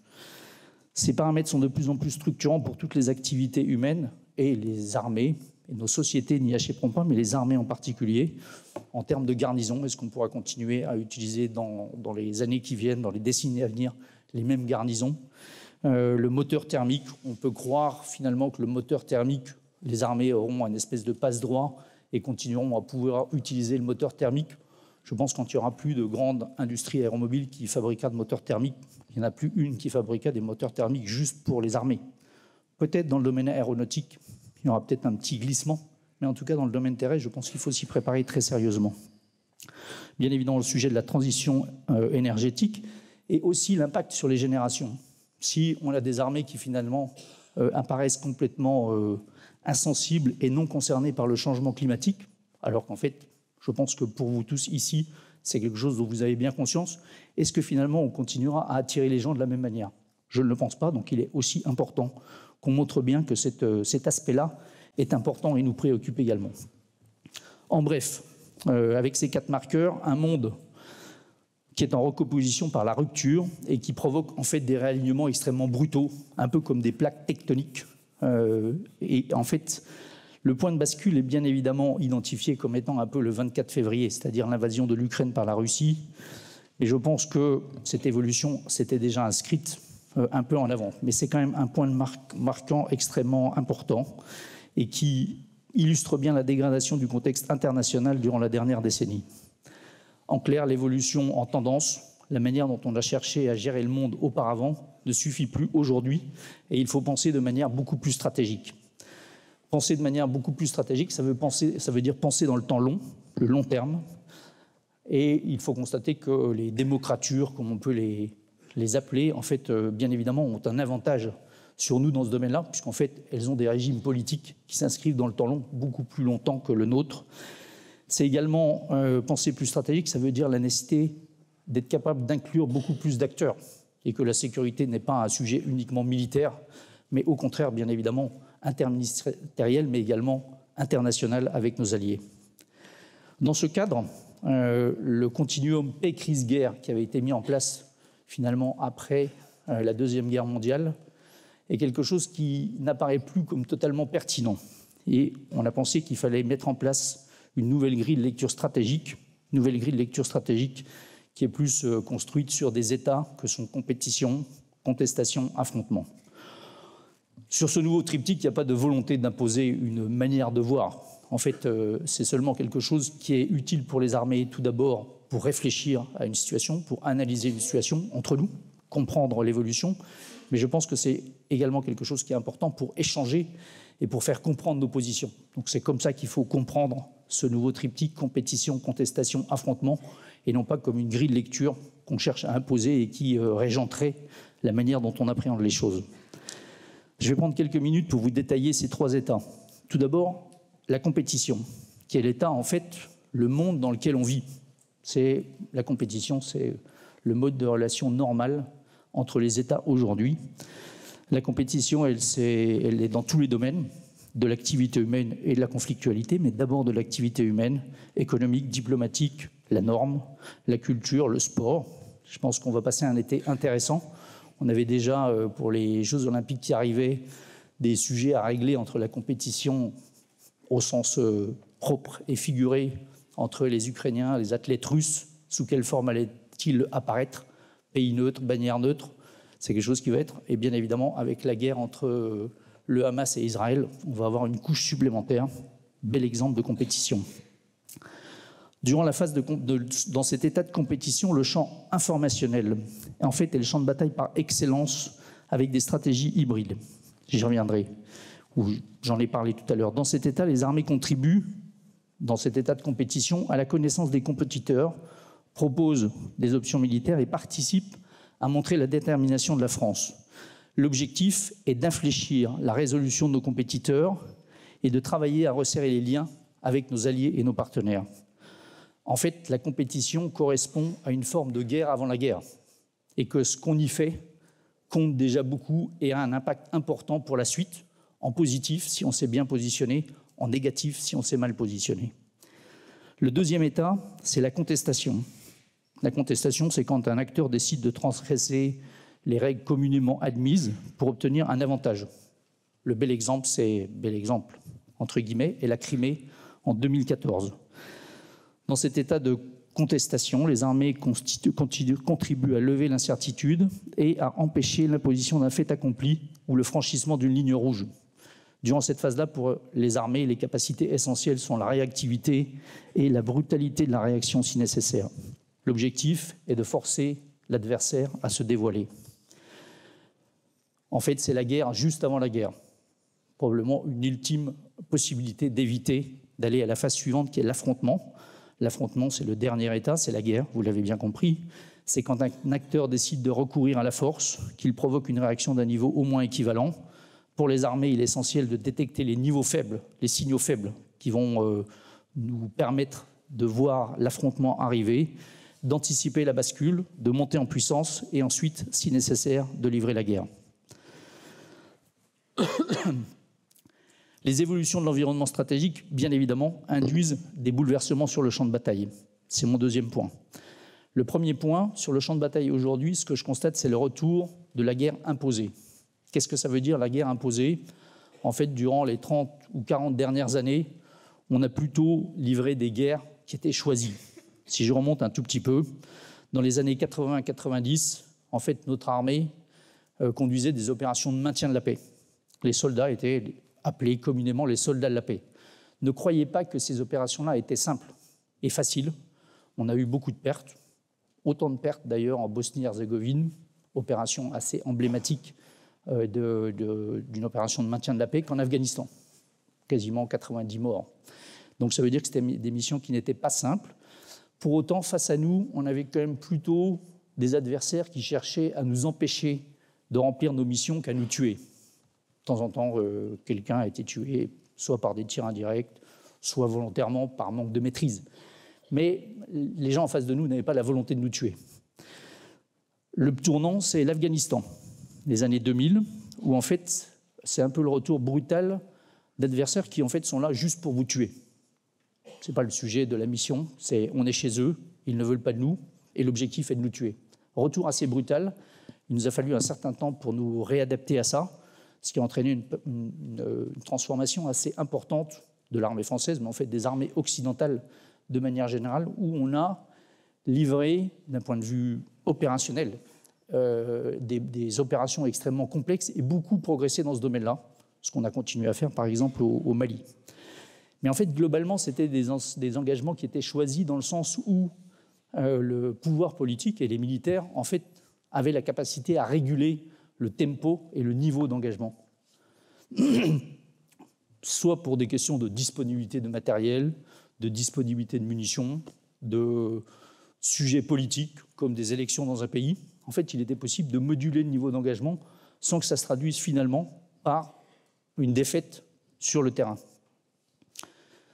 Ça ne veut pas dire là non plus que les opérations étaient simples, mais néanmoins, il y avait euh, une vraie capacité pour le pouvoir politique. Et quand le, président Macron décide de se retirer du Mali, évidemment, c'est un coût diplomatique probablement, un coût financier, euh, des matériels faut, qu'il faut changer, qu'il faut transformer. Pour autant, ça ne se transforme pas par une défaite instantanée de la France au Mali ou dans la guerre contre les, groupes armés terroristes. Vous comprenez bien que la situation est tout autre pour l'Ukraine aujourd'hui.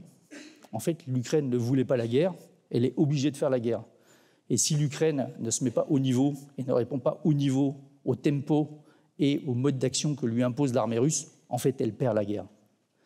Et vous comprenez bien que dans la construction d'une armée, mais aussi dans l'engagement d'une armée, finalement, euh, agir dans une situation de guerre imposée est quelque chose qui change radicalement la manière dont on voit les choses. Si on agit au Mali et qu'en fait, sur nos 70 euh, hélicoptères Tigre, il y a besoin d'en engager que 5, ou on ne peut en engager que 5, en fait, on fera la guerre avec 5 Tigres. Dans la guerre en Ukraine, si euh, l'armée ukrainienne n'est pas capable de mettre en place et en œuvre un maximum de ses canons, un maximum de ses aéronefs, et d'essayer de contester la liberté d'action des Russes en mer Noire, en fait, elle perd la guerre. Et donc ça veut dire que la manière dont est construite l'armée, la manière dont elle est équipée sur l'ensemble du champ, équipée, mais également avec ses munitions, avec son maintien en condition opérationnelle, en fait, c'est extrêmement dimensionnant. Et donc le risque aujourd'hui, c'est le retour de guerre imposée et donc il faut forcément qu'on prenne ça en compte. Pour la France et d'ailleurs pour les autres pays européens, on n'est pas belligérant en Ukraine, mais en fait on voit bien que finalement on est quand même impacté par l'escalade et les répercussions qui en découlent. Et c'est très différent, comme je vous l'ai dit, des engagements au Sahel, au Sahel, au Levant ou en Afghanistan. Le deuxième point, c'est le changement de paradigme opérationnel. D'un point de vue militaire, quand on est susceptible de se faire imposer le tempo et la forme du combat, c'est beaucoup plus structurant. Il y a également un changement d'échelle. Un changement d'échelle. Dans les guerres qu'on a conduites en Afghanistan, dans les guerres qu'on a conduites au Sahel, le volume pour les trois armées était quelque chose qui était euh, de l'ordre de la compagnie, une centaine d'hommes, du bataillon, quand on combinait 800 hommes, jusqu'à 800 hommes quand on cherchait à combiner les opérations. Pour les opérations aériennes, des, missions qui généralement se conduisent à deux appareils. Et pour le contrôle des espaces maritimes, finalement, un bâtiment suffit. Bien évidemment, dans euh, les conflits de haute intensité, dans ce qui peut nous être imposé, ça nécessite de savoir travailler à un tout autre niveau. Et vous voyez bien, en Ukraine, c'est finalement euh, non pas des dizaines de milliers d'hommes, mais des centaines de milliers d'hommes qui se font face. Euh, c'est des opérations qui peuvent constituer plusieurs dizaines d'appareils. Et bien évidemment, il n'y a pas de de vrai combat naval en mer Noire, mais vous voyez ce que représente un groupe aéronaval qui contrôle en fait dans un espace maritime plusieurs dizaines de milliers de kilomètres carrés. C'est ça la réalité. Alors ce, changement des ciels, en fait, il n'est pas seulement dans le volume tel qu'on le pose sur la table. C'est en fait finalement des opérations qui se conduisent à un autre niveau et manœuvrer au niveau de la compagnie ou du bataillon est bien évidemment quelque chose qui est totalement différent que de manœuvrer au niveau de la brigade, de la division ou du corps d'armée. C'est à l'identique pour ce qui se passe en l'air, à l'identique pour ce qui se passe sur mer. Et c'est un peu ce qu'on a constaté sur le sur dans la guerre en Ukraine, où finalement euh, les masses d'hommes que les Russes ont mis en œuvre, euh, il y avait une, une mauvaise capacité à utiliser ce niveau-là, de manœuvrer au niveau division, de manœuvrer au niveau corps d'armée. Et je constate également, vous avez vu comme moi, les difficultés qu'ont rencontrées les, les Ukrainiens dans leur contre-attaque, leur contre-offensive cet été que je ne blâmerai pas. Ils ont euh, agi avec la même détermination, le même courage. Mais en fait, finalement, euh, je sais combien euh, on passe de temps, mois après mois, année après année, à entraîner nos armées occidentales à être capables de manœuvrer au niveau de la brigade, de la division. En fait, je pense que nos, nos, frères d'armes ukrainiens, finalement, ne maîtrisaient pas techniquement et techniquement la conduite d'opérations de cette ampleur-là. Et ça s'apprend, et donc c'est si je, moi je retiens quelque chose pour nous, c'est que la nécessité de l'entraînement. En fait, on ne passe pas de guerre euh, au Sahel, même si on a la chance d'être une armée d'emploi et qu'on a été confronté à des ennemis très durs. Mais finalement, le gap, il se, traduit bien par un entraînement qu'il faut absolument conduire au niveau interarmé, terre, air, mer, en y intégrant aujourd'hui le cyberespace, la guerre informationnelle, les grands fonds marins euh, ou encore le cyber. Dans le domaine capacitaire, c'est vrai également, euh, pour être capable de s'adapter au mode d'action ennemi.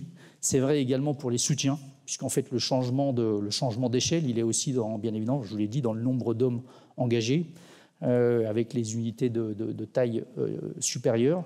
Il est vrai également dans les consommations en munitions, et il est vrai également dans les pertes. Dans les pertes. En, au Sahel, les pertes les plus importantes en une fois auxquelles on a été confronté, me semble-t-il, c'était 13 morts en novembre 2019. En fait, 13 morts aujourd'hui en Ukraine, c'est euh, les bons jours ou les bonnes demi-journées. Donc, bien évidemment, c'est quelque chose qui est totalement différent.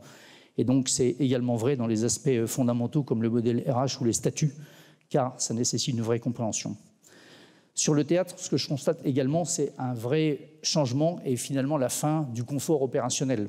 Là aussi, non pas que nos opérations en Afghanistan ou au Sahel aient été simples, mais finalement, euh, seul l'espace terrestre nous était réellement contesté.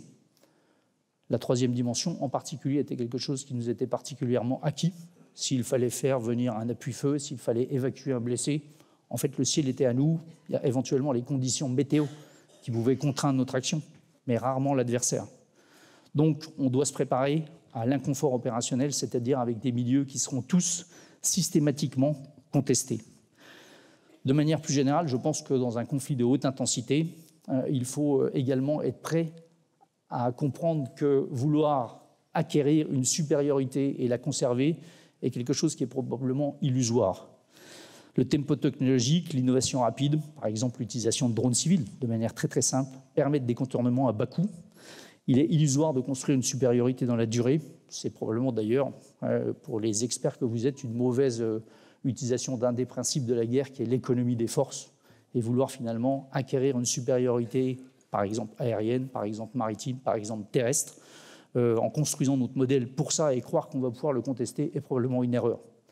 Donc il faut qu'on réagisse différemment et qu'on soit capable finalement de manœuvrer en n'ayant plus une supériorité permanente, mais plutôt en cherchant à acquérir une supériorité ponctuelle dans un, dans un espace donné, pour une durée donnée, pour imposer notre volonté à l'adversaire durant cette période-là. Et ensuite, il faudra euh, être capable de résister à la pression et à la supériorité que cherchera nous imposer l'ennemi. Voilà, au final, bien évidemment, cela demande d'adapter profondément le modèle militaire, euh, ce que nous apprenons et ce que nous cherchons à faire le mieux possible. Les répercussions se situent également au-delà du monde militaire. C'est bien évidemment une adaptation des structures civiles dans le domaine industriel, être capable de faire face à une guerre imposée et au changement d'échelle, en particulier dans l'utilisation des moyens et les consommations. Mais c'est également, je pense, euh, une implication sociétale et une adaptation des mentalités. Euh, si l'armée ukrainienne aujourd'hui est capable de résister euh, à l'armée russe, bien évidemment, c'est le courage, le savoir-faire, la détermination des soldats ukrainiens. Mais je pense que c'est aussi euh, parce qu'ils sentent que derrière eux, ils ont une nation tout entière qui est là et qui veut défendre son pays. Et quand ils défendent un pont, une rivière, une ville, un village, un bois, en fait, c'est parce que derrière, ils ont un village avec des populations ukrainiennes qui les soutiennent. Et tout ceci forme la cohésion d'une nation. Et c'est bien évidemment quelque chose qui est extrêmement important et probablement une des cibles principales de nos adversaires et de nos ennemis demain, c'est-à-dire casser cette, cohésion nationale qui doit impérativement exister entre une armée et sa nation. Alors, quelles sont les réponses des armées face à des doubles évolutions stratégiques et opérationnelles? En fait, il y a une seule réponse, évidemment, mais en fait, il y a deux aspects. Euh, qui explique pourquoi et comment on est en train de se, réorganiser et comment il faut répondre à, ces, doubles évolutions. Il y a tout d'abord un héritage, mais il y a également une ambition. En fait, l'héritage, c'est euh, en fait la singularité française. Et notre modèle d'armée, il est bien évidemment défini par ce qu'est la France et quelles sont ses singularités. Ces singularités, c'est quoi? La première singularité, c'est que la France est un État doté, un État doté d'armes nucléaires, et qu'en fait la dissuasion est au cœur de nos stratégies de défense. Et ça, il ne faut jamais l'oublier. Alors bien évidemment, la dissuasion est quelque chose, et c'est tant mieux, qui est assez loin et euh, qui ne convient pas d'en de, parler à la légère. Je vous disais, je, vois une forme de banalisation du, discours sur le nucléaire quelquefois dans des, dans des émissions euh, à la télé. C'est à mon avis extrêmement euh, dommageable, et probablement les gens n'imaginent pas exactement ce qu'il y a derrière. Mais la dissuasion, pour autant, je vous le répète, est au cœur de notre stratégie de défense, et bien évidemment, tout se réfléchit à l'aune de la dissuasion. Et que euh, quand je vois certains commentaires en disant euh, oui, mais finalement, euh, on tiendrait qu'à un certain périmètre ou à une certaine profondeur de front, on ne serait pas capable de faire plus de trois jours. En fait, l'armée polonaise, la Pologne n'est pas un État doté l'armée polonaise, pour imposer sa volonté, probablement qu'elle doit être capable. Et l'armée polonaise se dote d'une armée qui est capable de livrer un combat conventionnel. Non pas que l'armée française ne doit pas être capable de livrer un combat conventionnel, mais en fait, pour se défendre, la France n'a pas besoin de faire tuer 500 euh, 000 hommes. Avant, elle a une dissuasion. Ça ne veut pas dire que l'armée française ne doit pas avoir une force conventionnelle, car tout ceci s'articule et qu'il ne faut pas se faire dépasser ni par le haut ni par le bas. Mais le fait qu'on soit un pays doté est quelque chose qu'il faut absolument prendre en compte et, je dis bien, qui est probablement le marqueur principal de nos stratégies de défense. Enfin, c'est le, cœur de nos stratégies de défense, mais le marqueur principal sur les caractéristiques qui influent sur notre modèle d'armée. La deuxième chose, c'est l'exercice de notre souveraineté. Euh, bien évidemment, l'action en coalition est quelque chose qui est toujours privilégié. Et euh, quand on présente des plans d'opération au président de la République, il y a très peu de cas où finalement on ne propose pas quelque chose qui vise à travailler avec euh, un de nos alliés ou plusieurs de nos alliés ou dans le cadre d'une organisation, que ce soit l'OTAN, que ce soit l'UE ou d'une coalition ad hoc, évidemment. Et je pense que c'est comme ça qu'on est les plus efficaces, c'est comme ça qu'on est construit et c'est pour ça qu'on a des partenaires stratégiques avec nos, nos alliés. Pour autant, euh, et c'est probablement là une vraie singularité française, je ne me vois pas un jour aller dire au président de la République, en fait, on est tout seul et donc on ne peut pas faire. Ça, finalement, il n'y a plus beaucoup de pays au monde qui sont capables de, en tout cas, qui se mettent dans cette euh, tournure d'esprit-là. Et je pense que c'est quelque chose qui est essentiel. Et c'est bien la manière dont on compte exercer notre souveraineté. Ça justifie notre modèle complet, qui est décrit par certains en disant finalement on n'est pas capable de faire des choix. Mais pour être capable de faire tout seul, et quand on fera tout seul, si un jour on doit faire tout seul, ce sera bien évidemment plus risqué, plus compliqué, moins efficace, différent que si on le fait avec nos alliés, mais on devra être capable de le faire. Et pour être capable de le faire, il faut qu'on ait un modèle complet, peut-être avec peu de choses dans toutes ces dimensions, mais être capable de le faire. Je le redis néanmoins, notre volonté est toujours d'agir plutôt en coalition. C'est comme ça que la défense collective est prévu. L'effort vise donc à être capable d'avoir une appréciation stratégique et des capacités d'intervention en autonome. Une autre singularité sont nos possessions outre-mer. Il y a environ 1 million Français, 800 000, 1,8 million de Français qui vivent outre-mer. On a la deuxième zone économique exclusive du monde, dont 6,8 millions, de kilomètres carrés dans le Pacifique Sud. C'est bien évidemment euh, quelque chose qui est très structurant. Et conserver et affirmer la souveraineté de ces possessions outre-mer est quelque chose qui demande des moyens dédiés, une répartition et de gérer la tyrannie des distances. Car nos possessions outre-mer, elles sont quelquefois très très loin, très très loin. Quatrième singularité, en fait, la France porte l'idée d'une autonomie stratégique de l'Europe, en particulier au travers du renforcement du pilier européen de l'OTAN. La logique de la défense collective est au cœur de notre modèle d'armée. Ça veut dire qu'on doit être capable d'entraîner finalement d'autres nations et peser dans ce levier que constitue l'OTAN pour l'esprit de défense européen. Et ça, ça veut dire qu'il faut qu'on possède certaines aptitudes, en particulier l'aptitude d'être nation cadre. Être nation cadre, ça veut dire être capable d'agréger derrière nous une coalition, de travailler avec d'autres partenaires, de, fournir un certain nombre de moyens en termes de système de commandement, de logistique, pour pouvoir agréger d'autres pays. C'est-à-dire la volonté de peser en Europe et d'affirmer euh, un esprit de défense européen, qui n'est pas quelque chose qui s'oppose à l'OTAN, je le répète, mais quelque chose qui est complémentaire. Donc ça, c'est en fait, en quelque sorte, l'héritage. Et vous avez bien compris que cet héritage, il est, euh, c'est un bel héritage, mais qui est dimensionnant et qui influe forcément sur le modèle euh, d'armée que la France doit posséder. Il y a un deuxième aspect qui est l'ambition pour les armées. L'ambition pour les armées est de gagner la guerre avant la guerre, tout en étant apte à s'engager dans un affrontement de haute intensité. Je commence tout d'abord par apte à s'engager dans un affrontement de haute intensité apte à s'engager dans un affrontement de haute intensité, c'est un sujet de crédibilité. C'est l'essence du métier militaire et c'est bien évidemment la réalité de la menace avec laquelle on ne peut pas tricher. C'est l'aspect le plus dimensionnant de la mission auquel on peut être confronté.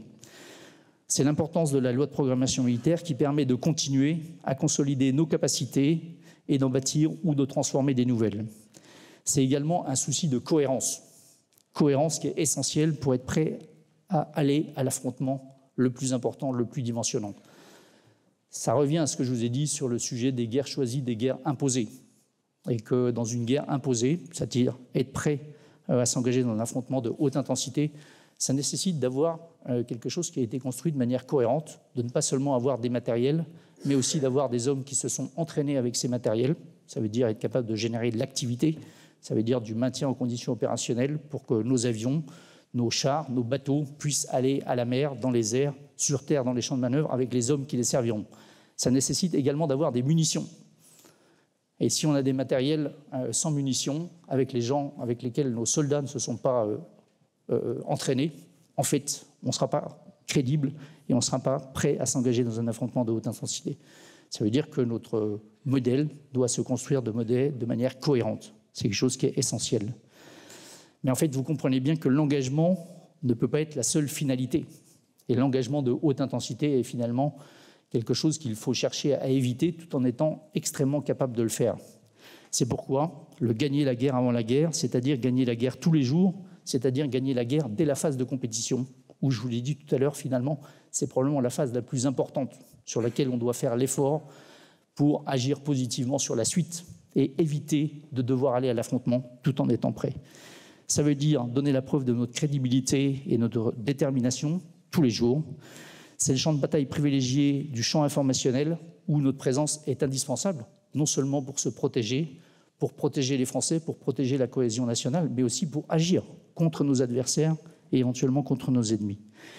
C'est la nécessité d'agir avec les autres dans une dynamique interministérielle. La population française, la nation, se défend pas seulement par les armées, mais également avec nos alliés. Voilà. Donc, ça, c'est un peu euh, la manière dont les, armées françaises se positionnent dans l'environnement stratégique.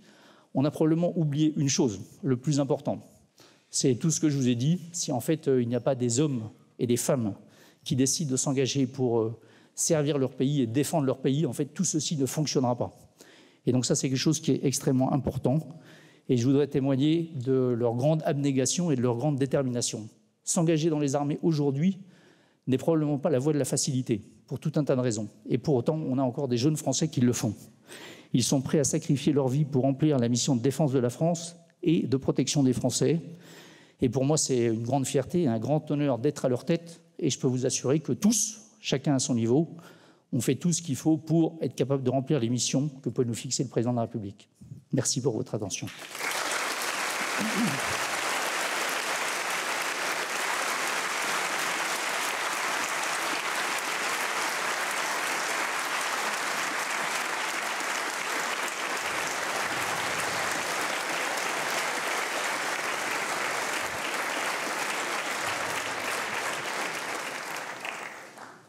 Merci beaucoup, mon général. Merci d'avoir accepté aussi de, répondre à, quelques questions, si vous en avez encore le, temps, la disponibilité. Je vais passer la parole à, la salle. Mais on va prendre euh, trois questions, parce que, comme vous voulez. Alors, allez-y, je vous en prie. Et vous vous présentez.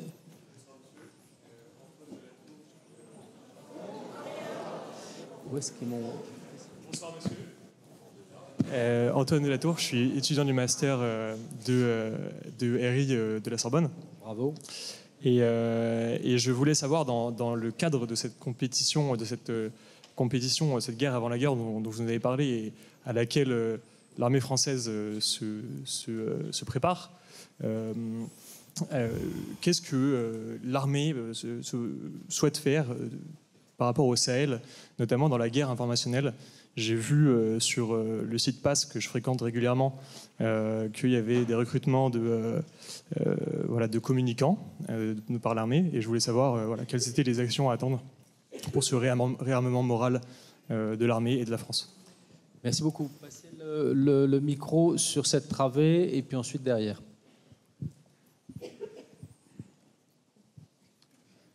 Bonsoir, mon général. Donc, Mansef Campos, je suis étudiant en histoire à, Paris 4. C'est un honneur de vous recevoir dans notre amphithéâtre.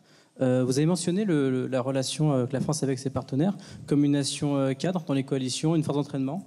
et vous avez mentionné précisément le, fait qu'une défense européenne se considère comme complémentaire et pas opposée à, l'OTAN. mais donc, dans cette relation qu'on a à, l'OTAN avec les, Américains, on va dire aussi, évidemment, parfois nos intérêts peuvent être différents, parfois aussi légèrement opposés. Et donc, dans ce cadre-là, simplement, comment lier notre autonomie stratégique européenne à cette adhésion à l'OTAN euh, quel, est, finalement, le, dans le cadre de ce qui va arriver bientôt, les nouveaux conflits, euh, ce, nouveau contexte? Comment on doit lier les deux et comment est-ce qu'il doit se, se, développer? Je vous remercie. Merci beaucoup. Une dernière question, vous derrière.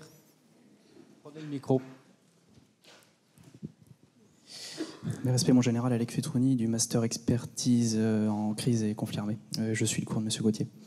Euh, ma question se porte sur l'état que vous avez décrit, l'état de contestation, qui revient à un état dans lequel l'armée doit être capable de réagir vite, de façon intensive ou brutale et avec beaucoup de réactivité, en vue d'éviter le stade suivant, à savoir la confrontation, l'affrontement. Est-ce que cette, cette posture de l'armée ne, revient pas à une posture finalement de dissuasion en vue d'atteindre le stade de l'affrontement Est-ce qu'elle n'est pas un peu redondante En tout cas, comment est-ce qu'elle s'articule avec notre dissuasion stratégique Puisque c'est une posture plutôt tactique, euh, en l'occurrence? Et euh, est-ce que cela peut donner lieu peut-être à un retour des armes pré-stratégiques nucléaires? Voilà, c'est la direction de ma question. J'en ai une autre à propos de l'Indo-Pacifique. Euh, vous avez évoqué notre engagement en Outre-mer, je vais faire rapide. Est-ce que les moyens de la stratégie Indo-Pacifique française, à savoir des moyens qui sont assez constants en matière capacitaire, est suffisante? Merci. Je vous laisse répondre, puis on reprendra un prochain. Monsieur le procureur général, tout d'abord sur le sujet de la, compétition, où vous dites on se prépare. En fait, on ne se prépare pas à livrer la compétition, à faire la compétition. En fait, on est déjà dans la compétition. Euh, c'est ce qu'il faut, euh, ce qu'il faut bien comprendre. Et plus spécifiquement euh, en Afrique, vous avez illustré le sujet, comment on va faire évoluer nos dispositifs, ou en tout cas comment on va augmenter notre capacité informationnelle. En fait, c'est une analyse de la situation qu'on comprend assez bien, et le Niger et la situation du Niger avec quelque chose qui est assez, euh, qui est assez emblématique. Euh, le Niger avec un coup d'État le 26 juillet, alors qu'il y avait euh, six pays occidentaux, au moins six ou sept pays occidentaux, qui, sont, qui sont engagés aux côtés du Niger dans la lutte contre le terrorisme. Et pour autant, en fait, le 26 juillet matin, il n'y a personne au Niger qui est capable de dire est-ce que finalement, en faisant un coup d'État, qui va forcément se traduire par à une modification de l'aide de ces pays occidentaux. Le Niger, c'est le troisième pays le plus pauvre du monde, euh, malheureusement pour lui. Et il y a des podiums dont on se passerait bien. Et pour autant, c'est la réalité. Personne n'est capable de se dire euh, est-ce qu'on n'est pas en train de faire une bêtise, pour parler poliment, en faisant un coup d'État? Vous comprenez bien qu'en fait, le grand perdant dans cette affaire-là, c'est d'abord le Niger. Euh, et que la France, c'est plutôt des enjeux qu'elle a au Niger, un enjeu de lutte contre le terrorisme, d'appui à la lutte contre le terrorisme, un enjeu à la maîtrise des flux migratoires, et probablement aussi un peu un enjeu de, maîtrise de l'influence des grands compétiteurs. On va réussir à survivre, euh, même si on n'agit plus depuis le Niger. Euh, donc ça montre bien en fait l'instabilité. L'ambassadeur de France me disait c'est quand même incroyable. Il y a dix jours, ou ouais, dix jours, le 14 juillet, euh, tous ces gens-là étaient dans les jardins de l'ambassade pour le 14 juillet et me disaient combien ils appréciaient finalement l'action de la France à nos côtés et tout. Et il avait l'air surpris, mais je pense qu'ils étaient sincères. Et je pense que le 25 juillet matin, en fait, ils pensaient encore ça. Sauf que l'instabilité, c'est en fait, c'est chronique et il n'y a pas de jugement de ma part. Mais si on n'est pas capable, et l'instabilité, en fait, on est tous d'accord qu'il y a malheureusement une instabilité en Afrique et qu'il faut aider l'Afrique à sortir de cette instabilité. Mais pour autant, je pense que c'est une réalité, l'instabilité en Afrique. Et donc, on doit réellement en tirer des conclusions. Je vais La deuxième chose qui est quelque chose qui est en train d'évoluer considérablement en Afrique, et c'est tant mieux, c'est la volonté de tous les pays africains d'affirmer leur souveraineté. Et quand on met d'un côté instabilité, de l'autre côté souveraineté, il faut forcément qu'on en tire des conclusions sur notre dispositif. Et que ce qui a été longtemps notre force, c'est-à-dire d'avoir des forces qui étaient présentes en Afrique, dans un certain nombre de pays, qui travaillaient avec les armées africaines, euh, qui travaillent aujourd'hui encore avec les armées africaines, je pense que ceci mérite d'être vu. Et que ce qui était notre force est aujourd'hui quelque chose qui, dans le champ informationnel, nous nuit énormément. Et donc, il faut qu'on trouve comment on va conserver une relation avec nos partenaires africains, continuer à les aider, mais pour autant sans que dans le champ informationnel, finalement, la France et les armées françaises, euh, ce qu'elles produisent de positif, soit complètement dégradé. Et vous le voyez comme moi, en fait, la difficulté à produire des effets euh, physiques durables en Afrique. Et ça veut dire que, en fait, c'est dans le champ euh, informationnel qu'on doit considérablement faire évoluer notre posture en étant beaucoup plus fort, euh, beaucoup plus habile, beaucoup plus présent. Et ceci nécessite d'avoir une compréhension beaucoup plus fine de nos partenaires, mais aussi de mettre nos partenaires en responsabilité. C'est-à-dire que la communication en Afrique, en particulier, c'est les pays africains qui doivent le faire. Ce n'est pas nous qui devons expliquer ce qu'on est en train de faire, c'est eux qui doivent impérativement le faire. Et donc, cette transformation, il faut qu'on la fasse véritablement, et je ne vais pas dire avec les pays africains, en fait, c'est avec chaque pays africain. Et là aussi, on a probablement une approche où on a. Euh, vous voyez bien, quand on en parle, je vous ai d'abord dit les pays africains, les partenaires africains. En fait, euh, on ne parle pas des pays européens, ou en tout cas pas comme s'ils étaient tous les autres. En fait, évidemment, les pays africains sont tous différents avec leur logique. ils ont des liens entre eux, ils ont bien évidemment des, des choses communes. Mais chaque pays africain, on doit pouvoir être capable de le traiter individuellement, séparément, et c'est lui qui doit placer le curseur de la relation qui est avec nous. Et ça, c'est ça sur quoi on doit désormais insister. Et vous comprenez bien que cet effort dans le champ informationnel, dans le champ des perceptions, ce n'est pas seulement le ministère des Armées et les armées qui doivent le faire. Là aussi, en fait, euh, finalement, la, la, relation de la France avec chacun de ces pays africains, elle a évolué, et probablement qu'on n'a pas assez mesuré ou pas été capable de voir combien l'Afrique changeait. Mais l'Afrique a énormément changé, et que la jeunesse aujourd'hui ne voit plus du tout comment finalement euh, la France et la relation avec les pays européens comme le voyaient leurs parents. Et donc c'est ça qu'on doit être capable de faire. Voilà, donc euh, dans le champ informationnel, il y a quelque chose à faire en lien bien évidemment avec les affaires étrangères, mais aussi avec le ministère de la Culture, avec le ministère de l'Éducation, et on doit se positionner différemment et surtout laisser les pays africains affirmer leur souveraineté et donc, entre guillemets, communiquer sur leurs actions. Et nous, on doit être en appui et c'est eux qui doivent fixer le curseur. Ceci est essentiel si on veut continuer à être capable de défendre nos enjeux et nos intérêts en Afrique. Ça, c'était le sujet guerre informationnelle, ou en tout cas en Afrique. Ensuite, euh, il y a une question qui était, oui, sur la relation OTAN-UE, où je vous disais qu'il ne s'agit pas d'opposer euh, l'OTAN à l'Union européenne. Tout d'abord, pour la France, en fait, euh, le premier constat, c'est qu'on a une armée qui ne s'est pas construite dans l'OTAN. On a eu la chance, à la fin de la Deuxième Guerre mondiale, d'avoir conservé notre armée et qui finalement, euh, du fait de la singularité et de l'héritage qu'on a, est une armée qui ne s'est pas construite uniquement pour être présent euh, face au pacte de Varsovie, mais avec d'autres expériences. Ça ne veut pas dire qu'on n'était pas dans l'OTAN ou on ne l'a pas été un moment dans la structure intégrée, mais en fait, on a toujours conservé des relations. Ce qu'il faut bien comprendre, et ça c'est important, toujours se dire, en fait, ne pas voir les pays européens tels qu'on voudrait qu'ils soient, mais tels qu'ils sont. Et pour un grand nombre de pays européens, finalement, leur armée, c'est une armée qui s'est construite sur l'OTAN. L'Allemagne, en premier lieu. L'armée allemande n'existe que parce que on lui a dit tu peux, euh, tu peux reconstruire une armée, mais ça sera euh, le pilier de l'Europe centrale euh, dans, enfin, sur le secteur du front central pour l'OTAN. Et c'est vrai aussi pour l'armée belge. La Grande-Bretagne, c'est un tout petit peu différent, c'est Five Eyes, mais c'est aussi un lien très très fort au sein de l'OTAN, complètement intégré depuis déjà la Deuxième Guerre mondiale. Et pour tous les autres pays, que ce soit la Belgique, le Danemark, la Norvège, et tous les pays qui finalement à l'Est ont intégré l'Union européenne, mais leur armée, elle a d'abord intégré l'OTAN.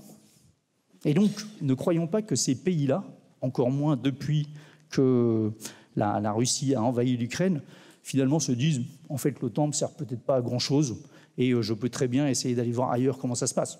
En fait, c'est pas vrai. Leur défense, c'est d'abord quelque chose qui est construit sur l'OTAN et qu'en fait euh, leur système est naturellement et, euh, ils se posent pas véritablement la question. En fait, l'OTAN leur fournit, et c'est pas péjoratif, et l'OTAN est quelque chose qui fonctionne bien on aime en France dire que l'OTAN est quelque chose qui est assez lourd, qui fonctionne pas très bien. L'outil, c'est une machine à entraîner, c'est une machine à normer, c'est une machine à former. Et donc tous ces pays-là, et la France avec, car on fait partie de l'OTAN, fonctionnent très très bien. Et que si ces pays-là, demain, quittent l'OTAN, en fait, euh, vous voyez peut-être pas ce qu'est Intradef, qui est un peu le réseau de communication interne des armées, qui est quelque chose de français. En fait, ces pays-là n'ont pas de réseau interne militarisé. Ils utilisent le réseau OTAN. Et c'est quelque chose qui leur coûte moins cher et qui fonctionne parfaitement. Ils n'ont pas forcément de radar pour surveiller l'espace aérien. Ils ont le système de surveillance radar de l'OTAN. S'ils quittent l'OTAN, en fait, euh, tout ceci, ils l'ont plus. Donc croire qu'on va pouvoir dire à ces gens-là, mais quittez l'OTAN et venez voir comment euh, la défense européenne va fonctionner, en fait, c'est quelque chose qui est illusoire. Illusoire. Et on n'a pas beaucoup d'arguments pour euh, les, faire, pour les faire venir. En revanche, je pense que les pays européens, aujourd'hui, commence à comprendre qu'il est normal qu'au sein de l'OTAN, euh, une vision européenne des choses, qui n'est pas en contradiction avec une vision américaine, mais en tout cas une vision européenne de la sécurité en Europe, est quelque chose qui est essentiel. Et qu'il y a déjà eu une première alerte avec Trump il y a quelques années, et que je pense que un certain nombre de pays européens ont bien compris qu'un jour peut-être, soit les Américains ne pourraient pas ou ne voudraient pas euh, intervenir au niveau souhaité à nos côtés en Europe. Les États-Unis, ils se battent pour le leadership mondial. Et le leadership mondial, ils ont compris que ça allait se passer dans la zone Indo-Pacifique. C'est la question qui arrive derrière. Et donc, quand on se bat pour le leadership mondial, en fait, on met tous ses moyens. C'est comme ça. Et donc, assez logiquement, les pays européens commencent à se dire il ne faudrait pas qu'un jour, si les Américains ne peuvent pas ou ne veulent pas, alors on se regarde tous en disant si les Américains ne sont pas là, on ne peut rien faire. Donc, il faut véritablement qu'il y ait une prise de conscience euh, supplémentaires des pays européens pour renforcer nos moyens de défense. Il y a quand même des efforts substantiels qui ont été faits. Il faut qu'on continue et qu'au sein de l'OTAN, il y ait un pilier européen euh, qui contribue à apporter une vision européenne de la sécurité de l'Europe. C'est quelque chose qui est essentiel. Et il faut qu'on continue dans cette direction-là. Et c'est pas quelque chose qui est, euh, c'est pas un système de vase communicant. Quand on fait plus de temps, on ferait euh, moins d'Union européenne. C'est pas vrai, c'est quelque chose qui est lié. Et euh, une OTAN forte, c'est un système de sécurité européen qui est fort, et un système de sécurité avec une vision européenne, c'est quelque chose qui bénéficie à l'OTAN. Il y a bien évidemment, dans le monde de compétition, dans tous les domaines économiques euh, en particulier, bien évidemment une compétition avec les Américains, en particulier sur la partie industrielle, en particulier dans le domaine aéronautique, qui est probablement le plus emblématique, en fait, il faut qu'on soit capable de vivre cette compétition. Et là aussi, il faut qu'on soit capable de proposer quelque chose quand les Européens achètent des F-35. En fait, euh, il faut qu'on soit capable de proposer quelque chose d'équivalent et qu'on soit, on n'ait pas peur d'être en compétition avec les Américains dans ce domaine-là, et que les Européens et les Américains aussi comprennent qu'il euh, n'y a aucun intérêt à ce qu'il n'existe plus de BITD européenne ça serait dans l'avantage de personne. Donc on doit se battre pour ça. Et les Européens commencent à le comprendre aussi. Et on le voit bien, comment, euh, si nécessaire, continuer à appuyer l'Ukraine. Ça nécessite forcément une, base industrielle qui soit plus forte en Europe. Je pense qu'on avance dans le bon sens dans ce domaine-là, mais on n'avancera pas si on cherche à opposer l'UE à l'OTAN. Ensuite, il y a le sujet Indo-Pacifique. Je, saute une, question. Dans la zone Indo-Pacifique, je vous l'ai dit, on est, on est un des États euh, riverains de la zone Indo-Pacifique. Euh, zone qui est essentielle, probablement centre de gravité euh, du monde euh, en, devenir, mais probablement un peu déjà. Je pense que là aussi, il faut être extrêmement vigilant. La première chose, c'est que la tyrannie des distances, c'est la réalité. Il n'y a pas de monde virtuel dans ce domaine-là, c'est la réalité. Quand vous allez en Polynésie française ou en Nouvelle-Calédonie, bon, en fait, c'est à l'autre bout du monde. Vous pouvez faire comme vous voulez, avec des bateaux, avec des avions, avec des hommes dans les bateaux. C'est à l'autre bout du monde. Ça, c'est la première chose. La deuxième chose, c'est qu'il euh, faut être bien conscient également de, des manœuvres qui sont en cours et qu'on doit bien évidemment euh, faire respecter nos valeurs, en particulier sur la liberté de circulation, la liberté de, mouvement euh, dans les mers, mais également le choix de la gouvernance. Et qu'il y a des modèles qui s'opposent et il faut en être bien conscient. La troisième chose, ça rejoint un peu un des marqueurs, c'est que les pays dans cette zone-là, les petits pays en particulier autour de la Nouvelle-Calédonie et la Polynésie française, ils ont une préoccupation essentielle, c'est l'impact pour le changement climatique. C'est ça leur préoccupation essentielle.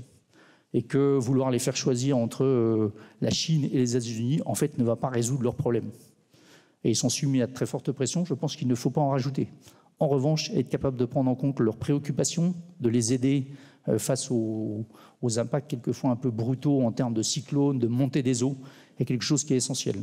C'est ce que la France essaye de faire euh, en lien avec les grandes, nations euh, du, de l'Indo-Pacifique, en particulier les Australiens, euh, pour que dans les, dans les formations qu'on leur procure, ces, ces armées-là n'ont pas véritablement d'armée, elles ont plutôt des, des, espèces de formations de sécurité civile, et c'est plutôt dans ce domaine-là qu'il faut les aider et les développer. Et quand on construit des exercices, on veille à ce que ça soit essentiellement orienté dans ce domaine-là.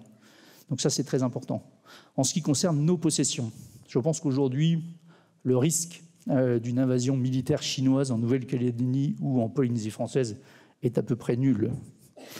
Et si c'était le cas, de toute façon, euh, on ne va pas construire le mur de l'Atlantique, enfin plus exactement le mur du Pacifique, sur nos îles pour éviter que les Chinois débarquent. Déjà, on sait que ça ne marche pas et que ça ne suffirait pas.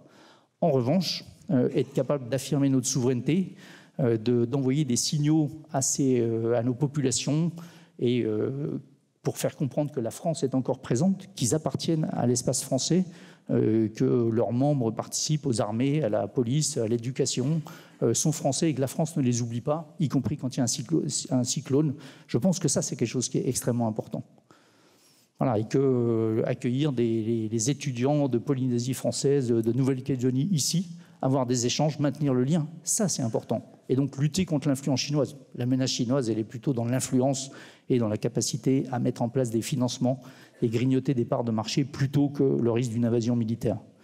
Ça ne veut pas dire, là aussi, euh, euh, entre guillemets, gagner la guerre avant la guerre et être capable de s'engager dans, un dans un conflit de haute intensité, qu'on ne doit pas être capable de montrer combien on a des forces qui sont présentes sur place. La loi de programmation militaire prévoit un renforcement substantiel de nos forces militaires dans cette zone-là, dans l'outre-mer de manière générale, non pas pour se défendre face à une, à une, attaque militaire chinoise, mais pour imposer notre souveraineté. Et vous l'avez peut-être constaté, des exercices réguliers, en particulier des déploiements de forces aériennes qui sont capables de rejoindre finalement cette zone-là en 48 heures, ou des déploiements réguliers, par exemple, du groupe aéronaval.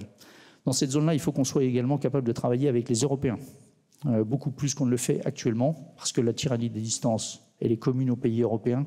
Et bien évidemment, je trouve que c'est toujours un peu un gaspillage quand on n'est pas capable de se coordonner et finalement d'avoir une espèce de présence perlée entre les différents pays européens, ceux qui ont des portes aéronefs, pour manifester notre présence dans cette zone-là et défendre finalement de manière commune nos valeurs. Donc ça, c'est la zone Indo-Pacifique. Euh, on parlait de la contestation. En fait, euh, la contestation, quand je disais qu'il fallait être capable, c'est la guerre juste avant la guerre. En fait, c'est euh, quand un adversaire essaye d'imposer le fait accompli et d'être capable de, réagir extrêmement rapidement et extrêmement brutalement si nécessaire. ça veut dire plutôt un système de, force en alerte, et en particulier, je ne sais plus qui m'a posé la question, un système de force en alerte. et la loi de programmation militaire et les, éléments qui ont été mis en avant visent à renforcer l'ENU. L'ENU, c'est l'échelon national d'urgence. C'est un dispositif de force interarmée, terrestre, aérien, maritime, euh, avec des délais d'alerte qui peuvent, les premiers éléments sont capables d'être projetés en, 24 heures, plus un volume un peu plus conséquent euh, à 5, 10, 15 jours. Euh, je pense que c'est ça dont on a besoin et c'est ça qu'on renforce aujourd'hui. le sujet du, nucléaire, en fait, c'est bien évidemment une forme de dissuasion, mais la forme de dissuasion, de dissuader notre adversaire, en fait, c'est dès la phase de compétition. Et en fait, quand on a probablement quand on a quelqu'un qui cherche à contester quelque chose et plus, plus exactement à imposer son fait accompli, c'est probablement déjà qu'on a loupé quelque chose dans la phase de compétition. C'est-à-dire qu'on n'a pas été suffisamment dissuasif et qu'on n'a pas suffisamment affirmé notre détermination à se défendre. Il nous reste encore une chance, c'est pendant la phase de contestation, lui dire, lui taper un gros coup sur les doigts et lui dire, ben en fait, on est prêt à réagir et ça ne marchera pas comme ça. Il n'y a pas de volonté là-dedans de recourir à de l'armement nucléaire tactique qui n'est pas, la, est stratégie de dissuasion française, qui a une stratégie de non-emploi. Euh, il n'y a pas de volonté de gagner une guerre, de livrer une guerre nucléaire et donc de gagner une guerre nucléaire. Est-ce acceptez un autre. Euh, alors, s'il y a des, comme les étudiants se mettent souvent tout en haut dans les gradins, je ne vous vois pas. Alors, je, je, vous ai vu, je vous ai vu là-bas, et je sais qu'il y a une question d'Internet, c'est ça, Henri Gasquet, qui est un des étudiants aussi. Alors on commence par la question des internautes. Alors, euh, sachant que la réserve est amenée à être renforcée, quelle est la place et l'intérêt de la réserve opérationnelle pour l'armée française? Merci. Je vous passe la parole. Bonsoir. Je suis un jeune étudiant euh, de la Enfin, je suis un jeune étudiant euh, à l'université Paris-Panthéon Sorbonne. Je viens de la République de Guinée. Je sais que euh, de nos jours, on parle de rivalité, on parle de compétition, on parle de leadership, mais on regarde de gauche, on regarde de droite, devant, mais je pense qu'on a oublié quelque chose. On ne regarde pas derrière nous. Aujourd'hui, la France euh, a oublié euh, la République de Guinée. Et je me pose la question, est-ce qu'aujourd'hui, la France est capable de renouer une relation loyale avec la République de Guinée? Parce qu'aujourd'hui, on parle de leadership et vous avez aujourd'hui un ancien euh, légionnaire, légionnaire de la France qui est aujourd'hui président de la République de Guinée qui a fait un coup d'État. Et euh, je vous regarde dans les yeux, est-ce êtes-vous capable de, euh, de, de renouer une relation avec la République de Guinée? Parce que ça fait six ans que je suis sur le sol enfin, sur le sol français. Et euh, je me bats pour, une, pour ma nation. Et je sais que c'est, le passé est très triste, très dur. Et en tant que leader aujourd'hui de ma nation, je vous repose encore une question. Êtes-vous prêt à renouer une relation de confiance avec la République de Guinée Et à la fin, j'ai un cadeau pour vous, au nom de la nation. Merci, monsieur. Alors, il y avait une question dans le fond. Monsieur, allez-y. Vous avez le micro, vous prenez le mien.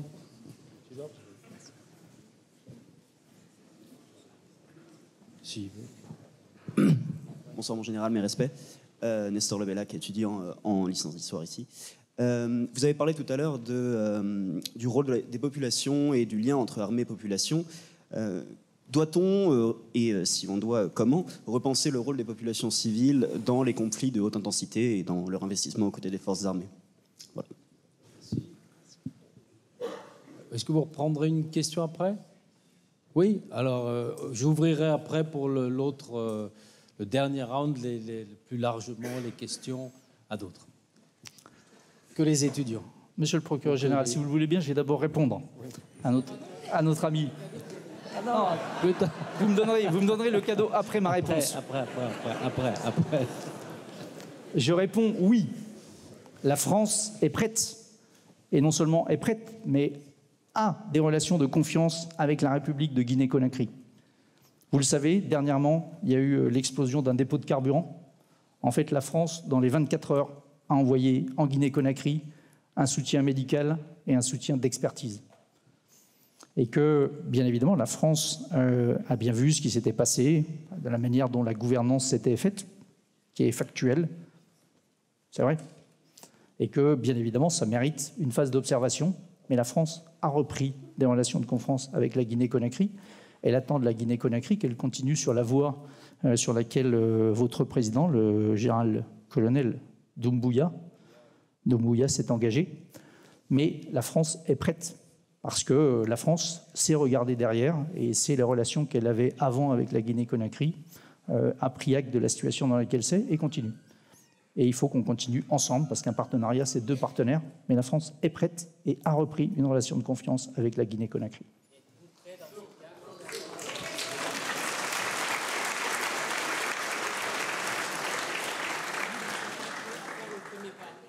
Le, premier pas est fait. Le premier pas est fait. Et, je dis, je dis l'année dernière, euh, vous avez vu que sur le 14 juillet, il y a un certain nombre de pays africains qui avaient été, invités à envoyer leurs lycées militaires. Il y a un réseau de lycées militaires, de prytanées militaires euh, en Afrique, dans un différent nombre de pays, au Sénégal, euh, en République, en République Congo-Brazzaville, et également en Guinée-Conakry, auquel, on a également envoyé cette invitation-là. Malheureusement, pour diverses raisons, ça n'a pas pu se faire. Donc la France est prête et a déjà repris une coopération franche et directe avec la Guinée-Conakry.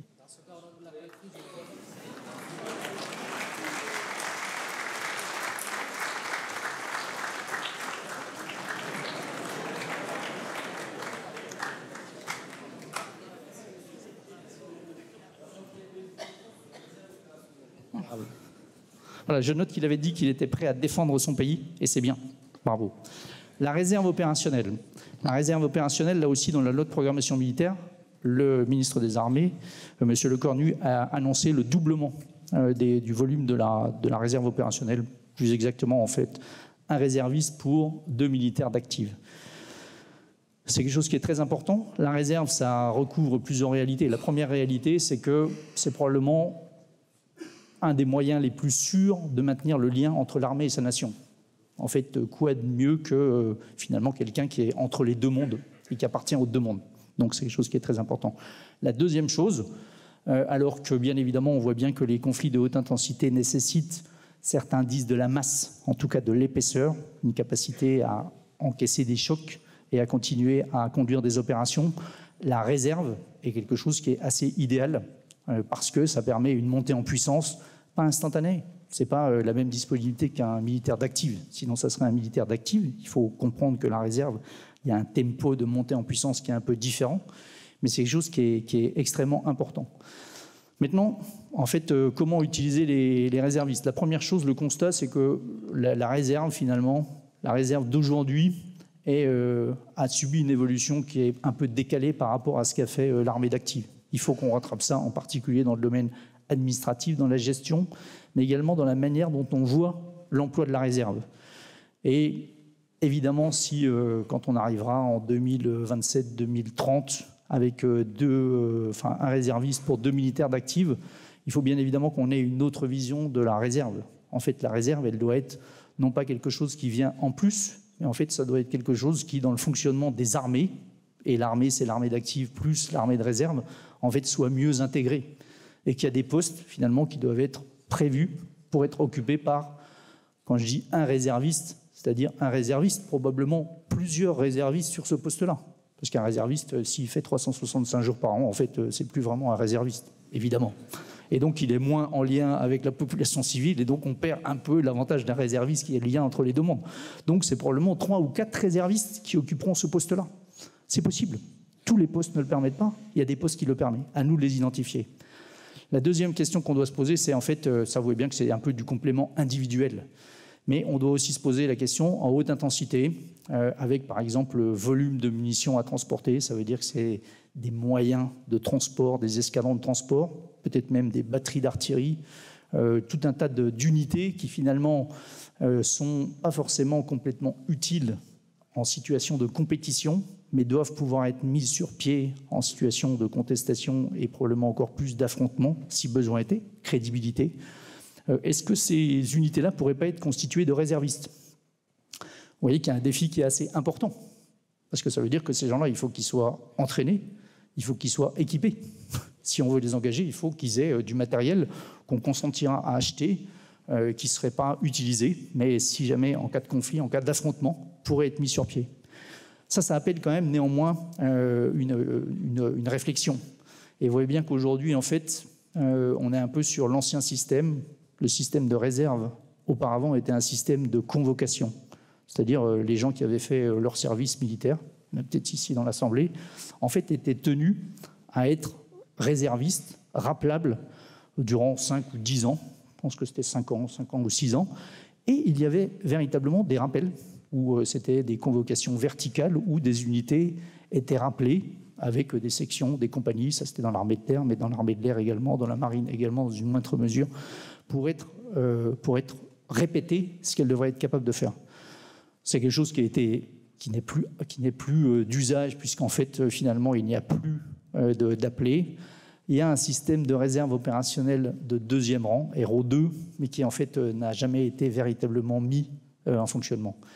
Mais ça nécessite néanmoins une approche euh, différente. Vous voyez bien que si on prend euh, la peine de former des gens, de les équiper, en fait, ça ne peut pas être seulement sur quelque chose qui est basé sur le volontariat. Le volontariat, il doit être pour je choisis de devenir réserviste. Mais une fois qu'on est réserviste, formé, équipé, entraîné, qu'on a dépensé de l'argent pour ça, en fait, assez logiquement, le président de la République et moi, on doit pouvoir compter là-dessus. Et donc ça nécessite probablement un aménagement aussi euh, du cadre légal de ce qu'est un réserviste. Je pense que ça doit toujours être sur volontariat, c'est indispensable. Mais le volontariat, c'est au départ. Ça veut dire, en fait, aujourd'hui, qu'il faut profondément euh, modifier la manière dont le réserviste est perçu dans notre société. Et que je pense que pour une entreprise, ça devrait être plutôt vu comme une chance d'avoir un réserviste euh, dans son entreprise. C'est forcément quelqu'un qui a le sens de l'engagement, c'est probablement quelqu'un qui a le sens du leadership, euh, c'est quelqu'un qui a le sens des situations de crise. Donc c'est une chance pour notre entreprise. Et ça ne doit pas être vu comme une charge, finalement, en disant j'ai un réserviste, finalement, quand il va être appelé, je vais le perdre et compagnie. Donc ça nécessite de modifier l'image du réserviste dans notre société. Voilà. Et donc on voit, pour, pour aller maintenant à la réponse de la question, oui, il y a beaucoup de choses à faire si on veut vraiment que la, la réserve, telle qu'elle est voulue et prévue d'être, euh, puisse prendre toute sa place mais c'est plutôt un beau défi. Et il, y a, deux sortes de réservistes aujourd'hui. Il y a encore quelques réservistes historiques euh, qui sont issus, du service national, mais je pense qu'il n'y en a plus beaucoup par la force des choses, mais il y en a encore. Euh, mais je pense qu'il y a soit des anciens actifs qui basculent dans la réserve, mais aussi ce que j'appelle la, réserve originelle, c'est-à-dire en particulier beaucoup de jeunes étudiants euh, qui choisissent d'être réservistes, à qui on doit fournir un cadre qui soit encore plus qui soient encore plus conformes à leur inspiration de servir le pays. Voilà, donc c'est ça qu'on va, ça, ça, les défis auxquels on est confronté pour avancer vers la réserve, tous ensemble. Mais je pense qu'il y a un vrai changement de vision sur ce qu'est le réserviste dans la population française aujourd'hui. Ensuite, la population, euh, la population dans la guerre de haute intensité. Je pense que le sujet de la cohésion nationale euh, est quelque chose qui est, capital. capital. Quand les armées sont préparées à répondre à rentrer en loi de programmation militaire, c'est-à-dire à se positionner, en fait, j'avais fixé trois axes d'effort. Euh, le premier axe d'effort, c'est cohésion nationale. Le deuxième axe d'effort, c'est euh, partenariat stratégique. Et le troisième axe d'effort, c'est crédibilité militaire. Le premier axe, c'est cohésion nationale. En fait, dans une guerre de haute intensité, en fait, c'est la nation tout entière qui est concernée. Et que euh, casser le lien entre la nation ou finalement faire en sorte que la nation n'ait pas envie de se défendre est la cible de la guerre informationnelle de tous nos adversaires. Et que la cohésion nationale, avant même du lien avec son armée, est quelque chose qui est essentiel. Et il faut bien comprendre qu'en temps de compétition et de contestation, euh, les armées, euh, avec deux volets, c'est euh, protéger les Français contre la dangerosité du monde, ça c'est l'environnement stratégique, mais c'est aussi contribuer à la protection des Français contre la dangerosité du quotidien. La dangerosité du quotidien, c'est la menace terroriste sur le sol national, c'est euh, une épidémie comment finalement les armées contribuent à distribuer des masques, à aider à vacciner. C'est comment les armées, euh, a une tempête, sortent et commencent à tronçonner les armes sur les routes. Tout ceci est quelque chose qui est extrêmement important. Et que euh, les armées doivent, dans cette période-là, finalement, les armées aident la nation. Et en fait, on voit bien que dans un conflit de haute intensité, c'est un peu l'inverse. C'est-à-dire c'est la nation qui appuie les armées. Et elle l'appuie parce qu'il y a des réservistes qui sont convoqués. Elle l'appuie parce que finalement, euh, le, nombre de blessés et de pertes fera que euh, les hôpitaux militaires ne suffiront pas et que les hôpitaux civils accueilleront également des blessés. Euh, c'est le civil qui, le monde civil qui appuie les armées parce que pour transporter le carburant, on n'aura probablement pas assez de camions citernes et qu'on réquisitionnera des camions citernes avec leurs conducteurs. Donc c'est ça. Et donc on voit bien que cette compréhension-là, pour les Français, est quelque chose qui est essentiel. Et que là aussi, on a un gros effort à faire de compréhension de finalement quel est l'environnement stratégique, quelles sont les menaces. Il ne s'agit pas de faire peur aux gens. Je pense que c'est seulement un vrai sujet de prise de conscience et euh, de prendre conscience que euh, on aime notre pays, on aime bien le critiquer aussi, mais on aime notre pays et on y vit bien, et que c'est quelque chose qui se protège aujourd'hui. Et que pour bien le protéger, c'est d'abord une, forme de cohésion nationale qui fait que on est moins sensible aux actions et aux, interactions, aux attaques dans le champ informationnel adverse. Voilà ce qu'on peut dire sur le rôle de la population pour les conflits de haute intensité. Vous avez accepté une, dernière question Je vois beaucoup de mains qui se lèvent comme toujours à la fin. Euh, une, deux, une. Alors, une femme, c'est vrai qu'il n'y a eu aucune femme. Alors, il y en a deux. Il y a Isabelle Lasserre et vous, madame. Alors, dans le fond, vous lui passez le micro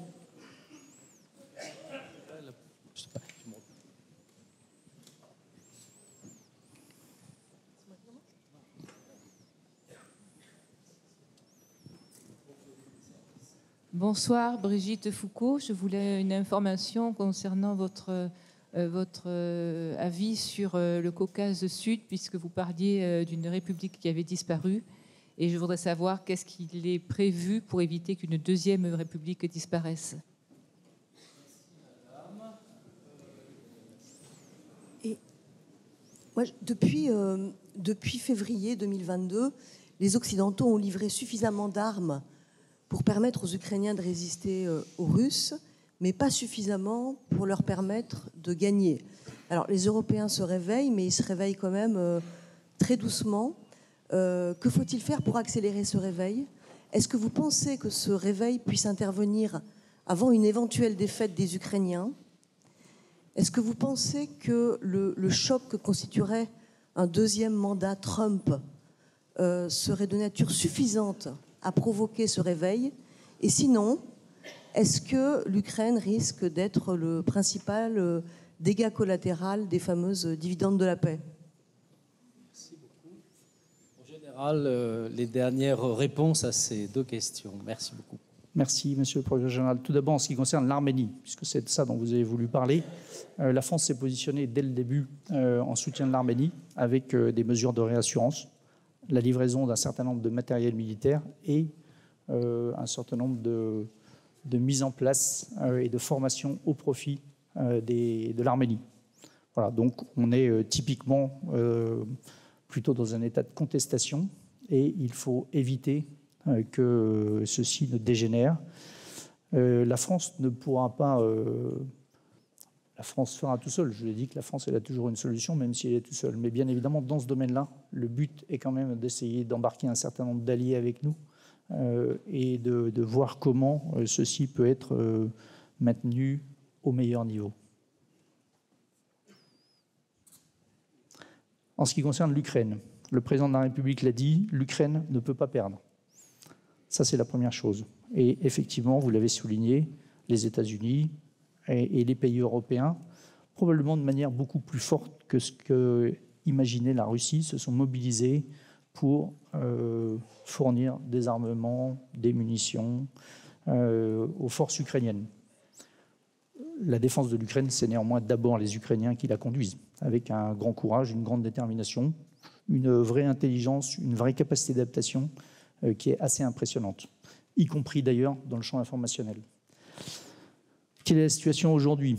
Mon évaluation est qu'en fait, les deux armées sur la ligne de front sont de niveau sensiblement équivalent, probablement avec un petit avantage pour la Russie, mais néanmoins pas suffisamment pour pouvoir militairement exploiter, enfin conduire une attaque, percer des lignes et exploiter ça pour faire tomber l'Ukraine.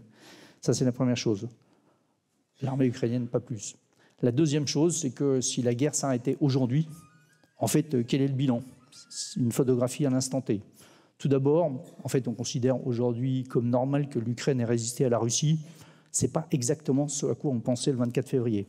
Donc, en fait, rien que pour ça, en fait, la Russie a perdu. Ça, c'est la première chose. La deuxième chose, la Russie, je ne sais pas combien ça se, mais c'est pas en centaines de kilomètres carrés conquis, mais globalement, ça a un peu étendu euh, les conquêtes qui dataient de 2014.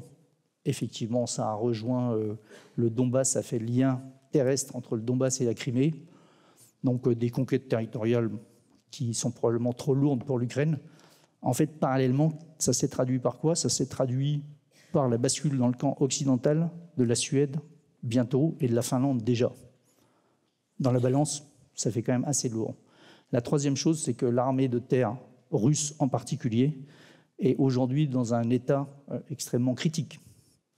Effectivement, avec une vraie capacité de recomplètement, de reconstruction, une BITD qui s'est mise en économie de guerre et qui fournit, mais néanmoins, euh, soyons clairs, aujourd'hui, à l'instant T, en fait, euh, l'armée russe ne constitue plus une menace euh, immédiate pour l'OTAN.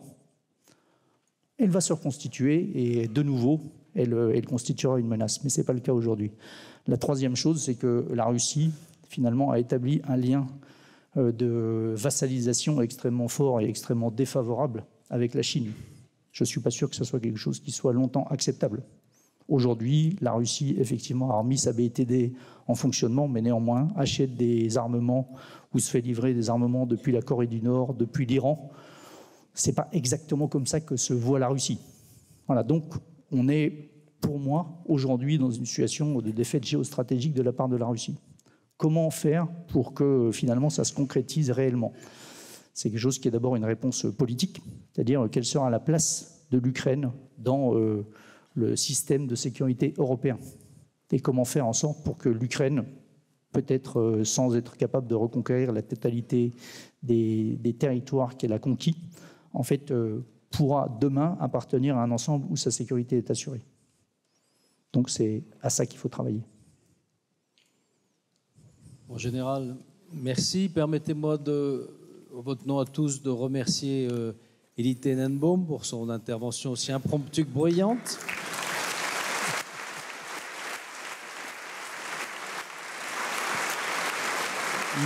Merci. Merci surtout d'avoir accepté euh, d'introduire ce 11e cycle de conférences euh, de la chaire Grands Enjeux Stratégiques euh, avec un regard perçant et où nous appelons à apporter aussi ce regard au loin les défis, sur les défis de long terme.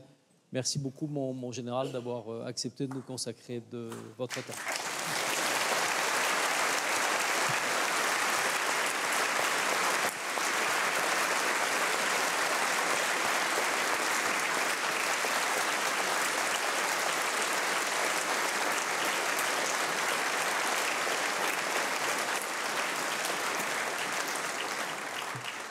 Monsieur le procureur général, je ne sais pas s'il est d'usage et s'il est permis de parler euh, après vous dans cet amphithéâtre. Néanmoins, si vous me le permettez. Si, si, les étudiants ne s'en privent pas.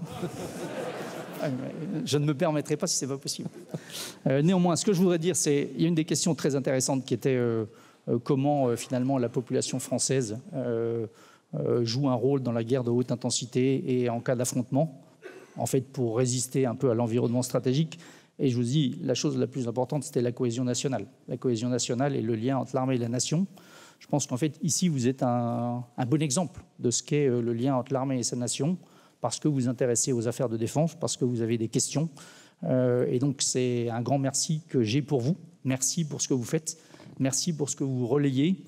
Euh, je donnerai juste un conseil. En fait, ici, probablement, je suis en terrain un peu acquis avec des gens qui s'intéressent à ces affaires-là. Je pense que votre vrai travail, il n'est pas euh, seulement euh, de venir ici dans un amphi et de poser ces questions toutes intéressantes toutes bien construites, toutes bien pensées, avec vous qui avez de la chance d'avoir des parcours brillants si vous êtes ici.